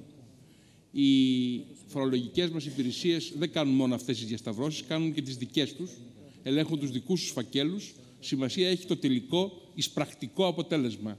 Όχι η βεβαίωση, αλλά η ίσπραξη των φόρων. Η διαφορά μεταξύ βεβαίωσης και ίσπραξης δημιορφώνει μια αίσθηση ότι έχουμε να πάρουμε πολλά και τελικά αυτά που μπορούμε να πάρουμε είναι δυστυχώς λίγα. Αυτό φάνηκε και από τον κατάλογο των 6.000 επιχειρήσεων που είναι μεγάλοι οφειλέτες, άνω των 150.000 ευρώ μέχρι πολλών εκατομμυρίων ευρώ. Εκεί υπάρχουν πτωχευμένες εταιρείες, παλιές εταιρείες, εταιρείες που δεν μπορούμε να εντοπίσουμε τις διοικήσεις τους. Άρα πρέπει να κάνουμε δυστυχώς έναν αποπληθωρισμό των ποσών αυτών και να εστιάσουμε την προσοχή μας εκεί που μπορούμε να έχουμε ένα αποτέλεσμα. Για να καλύψουμε φυσικά τις ανάγκες μας του 11, του 12, έχει πάρα πολύ μεγάλη σημασία να αξιοποιηθούν αυτές οι ληξιπρόθεσμες οφειλές των παρελθόντων ετών. Και εκεί κινητοποιούμε δικηγόρους και λογιστές για τους μεγάλους οφειλέτες. Ήδη έχει κινήσει η Γενική Γραμματεία Τελωνιακών και Φορολογικών Θεμάτων τη διαδικασία αυτή. Κάθε φορεία συνάπτει τις δικές της συμβάσεις για να γίνει άμεσα η επεξεργασία των φακέλων. Το φορολογικό πιστοποιητικό που είπε ο Πρωθυπουργός. Τώρα οι ορκωτοί ελεγκτές ή οι λογιστές απλώς είναι όλοι πιστοποιημένοι και εκδίδουν φορολογικό πιστοποιητικό για την επιχείρηση οι ίδιοι και μόνο δειγματοληπτικοί έλεγχοι με αλγοριθμικό υπολογισμό θα γίνονται από το γραφείο κατά προτίμηση από τις αρμόδιες φορολογικές αρχές. Οι 300 περίπου εφορίες συνενώνονται, θα μείνει το 1 τρίτο περίπου. Πολλά τμήματα εφοριών καταργούνται για να έχουμε ελεγκτές συγκεντρωμένους στις μεγάλες υπηρεσίες. Η Γενική Διεύθυνση Ελέγχων έγινε Γενική Διεύθυνση Ελέγχων και Εισπράξεων. Δημιουργήθηκε υπηρεσία μεγάλων φορολογουμένων, υπηρεσία μεγάλων επιχειρήσεων σε πανελλήνια βάση για να μπορούμε να έχουμε όσο γίνεται σημαντικότερα ε, αποτελέσματα. Και βέβαια όλα αυτά συνδέονται και με θεσμούς εναλλακτικής φορολογικής δικαιοσύνης. Ήδη ε, ο θεσμός φορολογικής ε, διαιτησίας γίνεται ένας πολύ ήπιος και ευρείας χρήσης θεσμός, με μια τροποποίηση που εισάγεται τώρα στο νομοσχέδιο περί τραπεζών, που ψηφίζεται την άλλη εβδομάδα, και όποιος έχει ενδιαφέρον να λύσει τη διαφορά του, μπορεί να πηγαίνει εκεί κατευθείαν, ώστε να έχει ένα γρήγορο και άμεσο αποτέλεσμα. Άρα υπάρχει πραγματικά μία ε, άλλη αντίληψη. Όλα αυτά είναι προγεφυρώματα προς το εθνικό φορολογικό σύστημα. Στο εθνικό φορολογικό σύστημα θα δούμε όχι μόνο θέματα φορολογικής πολιτικής, αλλά και τα βασικά θέματα της φορολογικής διοίκησης και της φορολογικής δικαιοσύνης. Γιατί αν δεν αλλάξουμε αυτά τα δεδομένα, τα οποία πολύ εύκολα μπορούν να αλλάχτούν, δεν πρόκειται στην πραγματικότητα να πετύχουμε τον στόχο της ανόρθωσης του κράτους, της κοινωνίας και της οικονομίας. Μάλιστα, ο κύριος Μούρτης από την Ισοτιμία και μετά ο κύριος Μπατζόγλου από το Σπίγκελ. Κύριε Πρόεδρε, εδώ, στο βάθος. Επειδή δεν μιλήσατε πολύ για, τα, για την εξωτερική πολιτική σήμερα, θα ήθελα να επανέλθω στο θέμα της συνεργασίας Ισραήλ-Κύπρου καθώς ε, γίνονται και ετοιμασίες να αρχίσουν οι έρευνες εκεί και η Τουρκία έχει απειλήσει με χρήση βίας. Και θα ήθελα να σας ρωτήσω, πού αποδίδεται πρώτον τη συμπεριφορά της Τουρκίας όταν από την άλλη πλευρά είναι διαλλακτική στα βακούφια ή ακούγονται και δηλώσεις περί κατάργησης της στρατιάς του Αιγαίου. Δεύτερο, εάν η Τουρκία χρησιμοποιήσει βία, θα είναι για την Ελλάδα κάζους μπέλι όπως ο έτερος των αντιπροέδρων σας έχει δηλώσει. Τρίτο, η όξυση στις σχέσεις Ισραήλ-Αιγύπτου ε, περιπλέκουν το πρόβλημα. Και τέταρτον, ποια είναι η θέση, η, η θέση της κυβέρνησής σας για τις ελληνικές ΑΟΣ στο Αιγαίο. Θα προχωρήσετε σε μια τέτοια κίνηση, θα το καθυστερήσετε, πώς θα κινηθείτε ακριβώς; Ευχαριστώ. Δεν ήταν βέβαια μια ερώτηση αυτή. Ε, ας μιλήσουμε τη συνολική εξωτερική Τέσσερις πολιτική. υποερωτήσεις ήταν. Πρώτα απ' όλα θεωρώ ότι ε, η Αραβική Άνοιξη είναι μια μεγάλη ευκαιρία ε, για την δημοκρατία, αλλά είναι και ένα- μια μεγάλη ευκαιρία ε, να υπάρξει πρωτοβουλία για την ειρήνη, το Μεσοανατολικό, το Παλαιστινιακό. Πιστεύω ότι Ισραήλ και Παλαιστίνη πρέπει ιστορικά αυτή τη στιγμή να προχωρήσουν και να διαμορφώσουν ένα κλίμα που θα επιτρέψει τη δημιουργία ενός ανεξάρτητου Παλαιστινιακού κράτους με μια χώρα δίπλα το Ισραήλ που θα αισθάνεται ασφαλές και θα είναι και αναγνωρισμένο και σε αγαστή συνεργασία με τα αραβικά κράτη και τους αραβικούς και τον αραβικό λαό. Είναι κάτι το οποίο εμείς επιδιώκουμε, είναι προς το συμφέρον μας και είναι, αν θέλετε, και από αυτά τα οποία όσο δεν γίνονται τόσο χάνουμε και πολύ σημαντικές δυνατότητες και οικονομικές και άλλες. Μέσα στο πλαίσιο της συνεργασίας και των διεθνούς δικαίου εμείς ε, διεκδικούμε όλα τα δικαιώματά μας. Τα δικαιώματά μας λένε ότι όπως με την, ε, το θέμα της, ε, του, του, της υφαλοκρηπίδας ε, και της επέκτασης των, ε, των ε, χωρικών υδάτων και το θέμα ΟΖ είναι θέμα ε, πρώτα απ' όλα δικαιώματος αλλά και θέμα συνεργασίας με τις γειτονικές χώρες. Αυτό προσπαθούμε ε, και ε, προωθούμε με όλες τις χώρες συμπεριλαμβανομένης και της Τουρκίας α, την, α, την ε, συμφωνία πάνω σε σειρά τέτοιων ζητημάτων. Θέλω να α, τονίσω ότι ε, δεν είναι καθόλου ευχάριστη η απειλή βίας και ε, θα πιστεύω ότι θα επικρατήσει η νυφαλιότητα όπως βεβαίως πιστεύω ότι σύσσωμη και η Ευρωπαϊκή Ένωση και η διεθνής κοινότητα α, δεν θα θελήσει να α, υπάρξει όχι μόνο α, βία αλλά και ούτε απειλή βίας για ένα θέμα που είναι, όπως είπα, δικαίωμα α, κρατών, κυρίαρχων κρατών, όπως είναι η Κυπριακή Δημοκρατία, δικαίωμά τους να αξιοποιήσουν τους πόρους τους. Ο κύριος Μπατζόγλου από το Σπίγγελ και θα ήθελα να πω αυτή θα είναι η τελευταία ερώτηση και να ζητήσω συγγνώμη ε, γιατί δεν μπορούμε να ικανοποιήσουμε όλα τα αιτήματα. Λάβαμε περισσότερο από 100 αιτήματα για ερωτήσεις. Δεν είναι δυνατόν, όπως καταλαβαίνετε, να ικανοποιηθούν όλα. Θα υπάρχουν συνεντεύξεις στο μέλλον, στο άμεσο μέλλον του Πρωθυπουργού και για τα πολυμέσα και για τις περιφερειακές εφημερίδες και τα περιφερειακά ΜΜΕ. Η ερώτηση του κύριο Μπατζόγλου. Ε, κύριε Πρωθυπουργέ, θα ήθελα να ε, επιστρέψω στο ζήτημα περί πιέσεων ε, με αφορμή ε, τις ε, πρόσφατες ε, δηλώσεις ε, αξιωματούχων της, ε, και της γερμανικής κυβέρνησης και των κομμάτων ε, στη Γερμανία, ε, όπως ο κύριος Σόιπλε, ο κύριος ε, Μπρούδαλε. Α, ή- και με αυτό που είπατε χθες και το είπατε και σήμερα ξανά, ότι ανεξάρτητα το τι λένε οι ξένοι για μας ή τι ε, θέλουν οι ξένοι από μας, εμείς θα τα κάνουμε από μόνοι μας. Μήπως τα πράγματα είναι πιο απλά, ε, ότι με δεδομένο ότι τον στόχο για το δημόσιο, για το έλλειμμα ε, για φέτος το 2011, το 7,6% θέλατε στη συνομιλία σας με την Τρόικα να τον αναθεωρήσετε προς τα πάνω; Αυτό το αίτημα, αυτή η θέλησή σας δεν έγινε δεκτή και γι' αυτό το λόγο προχωρήσατε σε αυτό το μέτρο που ανακοινώσατε σήμερα, γιατί στην ουσία μιλάμε για ένα μέτρο, καινούριο,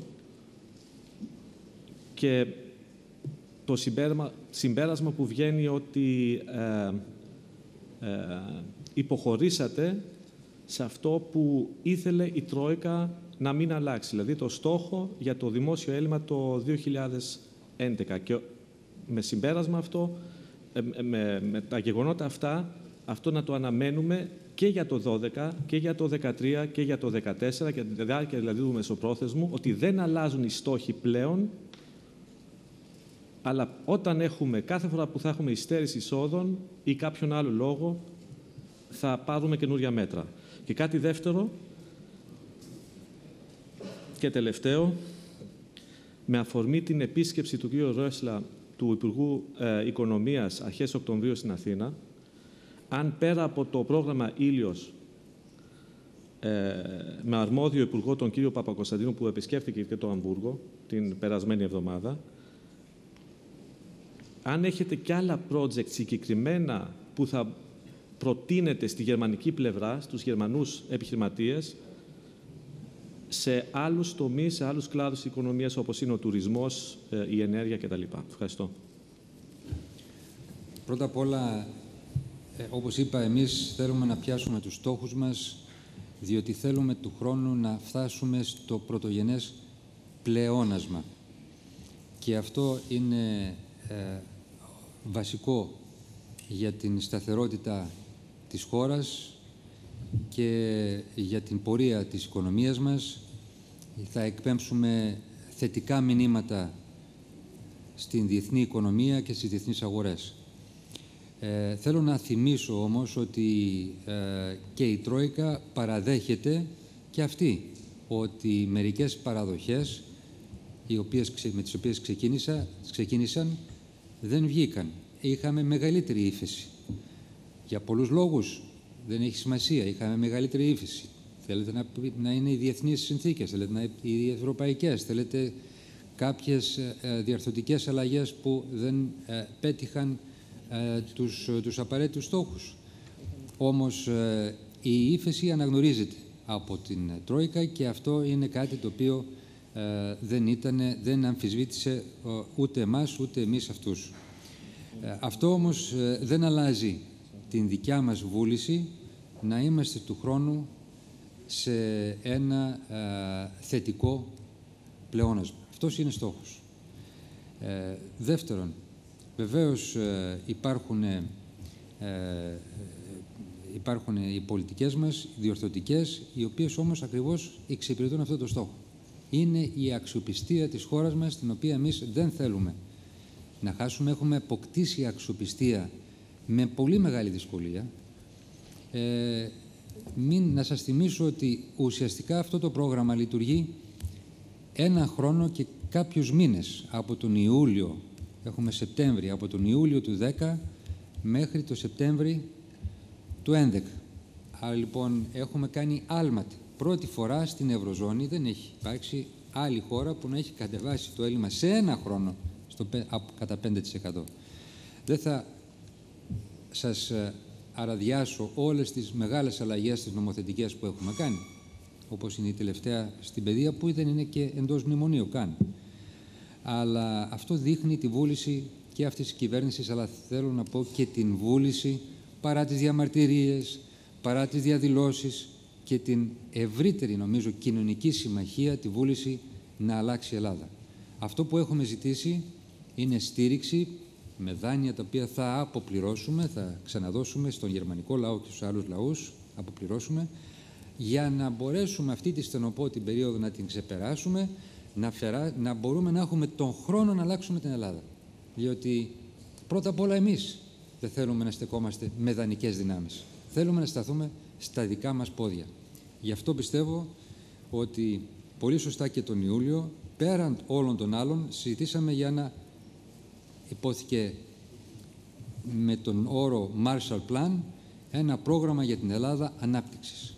Διότι πράγματι δεν πρόκειται να έχουμε να αντιμετωπίσουμε το χρέος εάν δεν έχουμε και ανάπτυξη. Μειώνουμε τα ελλείμματα, αλλά θα χρειαστεί να έχουμε και ανάπτυξη για να μπορούμε να πληρώσουμε το χρέος. Πέραν το ότι η ανάπτυξη είναι και ευεργετική γενικότερα για τον ελληνικό λαό και τους εργαζόμενους. Θα έχουμε στο Σεπτέμβριο, τέλος Σεπτεμβρίου, θα έχω μαζί μου όλους τους ε, συμβούλους, συνεργάτες, απαραίτητους ε, ε, ε, συνεργάτες και υπουργούς ή των διαφόρων φορέων υπεύθυνους που θα μπορέσουν να παρουσιάσουν σειρά προγραμμάτων επενδυτικών. Θα είναι και ο Μιχάλης ο Χρυσοχοίδης εκεί, ο οποίος έχει υπό την εποπτεία του και το θέμα των ξένων επενδύσεων, το, επίσης τον φορέα που λέγεται Invest in Greece, Οπότε θα έχουμε την δυνατότητα στους βιομήχανους Γερμανίας να παρουσιάσουμε σειρά ε, επενδύσεων και δυνατοτήτων συνεργασίας και προσβλέπουμε στα θετικά αυτής της συνεργασίας. Νομίζω ότι παρά τις εντάσεις που είναι λογικές και το αίσθημα που υπάρχει ε, μεταξύ μας ε, στην αυτή την εποχή σε μια δύσκολη περίοδο και παρά τις όποιες ε, αρνητικές δημοσιο, δημοσιεύσεις είτε για την Ελλάδα στη Γερμανία είτε για τη Γερμανία στην Ελλάδα ε, η Ευρώπη, η έννοια της Ευρώπης είναι να μπορέσουμε να συνεργαστούμε μπροστά στα προβλήματα, να μπορούμε να ξεπεράσουμε ε, προκαταλήψεις και να μπορούμε να αποκτήσουμε δύναμη για τα προβλήματά μας στις χώρες μας, αλλά και τα παγκόσμια προβλήματα ακριβώς μέσα από αυτή τη συνεργασία. Και αυτό μπορούμε να το αποδείξουμε. Έχουμε πολλές δυνατότητες συνεργασίας, ισότιμης συνεργασίας μεταξύ Ελλάδας και Γερμανίας και βεβαίως και με πολλές άλλες χώρες, όχι μόνο της Ευρωπαϊκής Ένωσης, αλλά και αλλού, για επενδύσεις. Υπάρχει ενδιαφέρον για επένδυση στην Ελλάδα. Υπάρχει μεγάλο ενδιαφέρον. Θέλω κλείνοντας ε, να ευχαριστήσω όλους. Είχαμε μια καθυστέρηση λόγω των γεγονότων και των αποφάσεων που πήραμε είναι σημαντικές αποφάσεις, συλλογικές αποφάσεις, ομόφωνες αποφάσεις, να πάμε πρώτα απ' όλα σε μια παραγωγική, όπως είπα χθες, και δημιουργική Ελλάδα. Στροφή σε μια παραγωγική επιτέλους και δημιουργική Ελλάδα. Δεν έχουμε και δεν μπορούμε να έχουμε ανάπτυξη με δανεικά, ε, δεν μπορούμε να έχουμε ανάπτυξη που θα, στέκονται, θα στέκεται σε πύληνα πόδια. Γι' αυτό έχουμε πρώτα απ' όλα προτεραιότητα να αξιοποιήσουμε τους πόρους μας, τις δυνατότητές μας. Πρώτα απ' όλα ενεργειακούς πόρους, όπως είπαμε πράσινη ενέργεια, πετρέλαιο, φυσικό αέριο, γεωθερμία, αιωλική ενέργεια κτλ. Τη γεωργία, τη γη μας, τα ακίνητα, να αξιοποιηθούν. Τις επιχειρήσεις μας, άλλες θα ιδιωτικοποιηθούν, άλλες θα αξιοποιηθούν ή θα υπάρξουν επενδύσεις ξένες. Οπωσδήποτε δεύτερον το ανθρώπινο δυναμικό, που έχουμε τεράστιο. Σε όλες τις μελέτες, τις διεθνείς, μπορεί να είμαστε χαμηλά σε άλλους δείκτες, αλλά υπάρχει ένας δείκτης που λέει ότι υπάρχει ένα ανθρώπινο δυναμικό που δεν αξιοποιείται, που είναι σε υψηλό επίπεδο. Άρα λοιπόν, στήριξη αυτού του ανθρώπινου δυναμικού, επανακατάρτιση αυτού του ανθρώπινου δυναμικού, απελευθέρωση αυτού του ανθρώπινου δυναμικού. Αυτό είναι το σύστημα πρόνοιας, είναι το σύστημα το τραπεζικό βεβαίως που χρειάζεται για να, σταθερο, για να σταθεροποιηθεί και να μπορεί να δώσει ρευστότητα, για να πάμε σε προϊόντα ποιότητας, ανταγωνισμός ποιότητας και όχι φτύνιας. Τρίτον, η ευνομία και το κράτος. Προϋπόθεση. Προϋπόθεση δικαιοσύνης και συνοχής. Προϋπόθεση να εμπιστεύεται ο Έλληνας τη χώρα του, την πολιτεία του, να μην αισθάνεται ξένος στη χώρα του. Και φέρνω ένα παράδειγμα που πολλές φορές έχω χρησιμοποιήσει, αλλά θέλω να το, ξανα, να το ξαναπώ. Ήμουνα με τον πρόεδρο της Χιλής πριν από 1,5-2 μήνες στον ΟΣΑ, σε ένα πάνελ όπου συζητήσαμε για την διεθνή οικονομική κρίση Μίλησε πρώτα αυτός, μετά εγώ και είπε ότι στη Χιλή, ξέρετε, είμαστε πετυχημένη χώρα ε, γιατί έχουμε οργανώσει ένα σωστό κράτος. Και μετά πήρα το λόγο και μάλιστα αυτοί έχουν μέσα στην κρίση πλεονάσματα και δεν αισθάνθηκαν τον πόνο της κρίσης. Είναι εξαγωγική χώρα, δυναμική χώρα. Έγινε μια μελέτη στο Brookings Institute που ακριβώς συγκρίνει Χιλή και Ελλάδα. Και αυτή η μελέτη λέει γιατί η Χιλή έτσι και η Ελλάδα αλλιώς; Διότι λένε στη Χιλή φτιάξαν ένα κράτος, ένα πολιτικό σύστημα με διαφάνεια, με σωστή διαχείριση και διαμορφώσανε ένα σχέδιο όπου σωστά οργανώσαν τους πόρους τους, τους πρωτοπαραγωγούς πόρους, το ανθρώπινο δυναμικό. Η Ελλάδα το αντίθετο. Αυτό είναι που πρέπει να φτιάξουμε. Η ίδια μελέτη λέει ότι από την αδιαφάνεια και τη φοροδιαφυγή μπορεί να χάνει αυτή τη στιγμή η Ελλάδα 8% του ΑΕΠ ετησίως αν δηλαδή ήμασταν Σουηδία, λέει, θα είχαμε 8% παραπάνω, δηλαδή όσο είναι το έλλειμμά μας ουσιαστικά, ε, κάθε χρόνο και αν ήμασταν στην Ισπανία θα είχαμε τουλάχιστον 4% παραπάνω. Άρα λοιπόν το κράτος, η ευνομία είναι αναπτυξιακό εργαλείο. Είναι εργαλείο δικαιοσύνης αλλά και αναπτυξιακό εργαλείο. Δεν ήταν μέχρι σήμερα. Τέλος, όλα αυτά έχουν μια προϋπόθεση. Έχουν την προϋπόθεση να κλειδώσουμε αυτή την ιστορική συμφωνία του Ιουλίου που βάζει τις γερές βάσεις πάνω στις οποίες όλα τα άλλα μπορούμε να τα κάνουμε. Να κλειδώσουμε τη συμφωνία που θα στηρίξει το τραπεζικό σύστημα, να κλειδώσουμε τη συμφωνία που θα, θα επιμικίνει, θα ελαφρύνει το χρέος, να κλειδώσουμε αυτή τη συμφωνία που θα μεταφέρει ένα βάρος του χρέους στις ιδιωτικές τράπεζες, να κλειδώσουμε αυτή τη συμφωνία για να μπορούμε να δώσουμε αίσθημα αξιοπιστίας στον επενδυτή, σε αυτόν ο οποίος πράγματι θέλει να πιστέψει στην Ελλάδα. Όχι μόνο τον ξένο, αλλά και τον ίδιο, τον Έλληνα, τον νέο, που αυτή τη στιγμή αισθάνεται ότι πρέπει να πάει στο εξωτερικό. Να δώσουμε αυτή την σιγουριά και ασφάλεια στο ελληνικό νοικοκυριό. Αυτό είναι που θέλουμε. Αυτό παλεύουμε και αυτή τη μάχη θα τη δώσουμε και θα τη δώσουμε νικηφόρα. Θα μπορέσουμε να το κάνουμε. Βεβαίως, ε, όπως είπα, η συμφωνία μας, η απόφασή μας σήμερα είναι μια απαραίτητη απόφαση, δεν είναι επιπλέον χρήματα, είναι για να φτάσουμε ακριβώς στα χρήματα τα οποία έχουμε βάλει ως στόχο, στις πράξεις που έχουμε ως στόχο. Αλλά θα μπορούμε να είμαστε ακόμα πιο αποτελεσματικοί όταν όλοι κατανοήσουμε ότι ναι, αυτή η κυβέρνηση κάνει και εγώ προσωπικά κάνω και θα κάνω ό,τι μπορώ, χωρίς το αίσθημα πολιτικού κόστους. Αλλά είναι να φτιάξουμε την Ελλάδα, τη φτιάξουμε μαζί. Όλοι μαζί, ο καθένας με τη συνεισφορά του και πάλι τονίζω, η συνεισφορά θα πρέπει να είναι τελικά λιγότερο οικονομική όσο είναι μιας αντίληψης, μιας πρακτικής, να βοηθήσουμε να αλλάξουμε δομές, πρακτικές, θεσμούς στη χώρα μας. Μπορούμε να το κάνουμε και θα το καταφέρουμε. Και πάλι σας ευχαριστώ.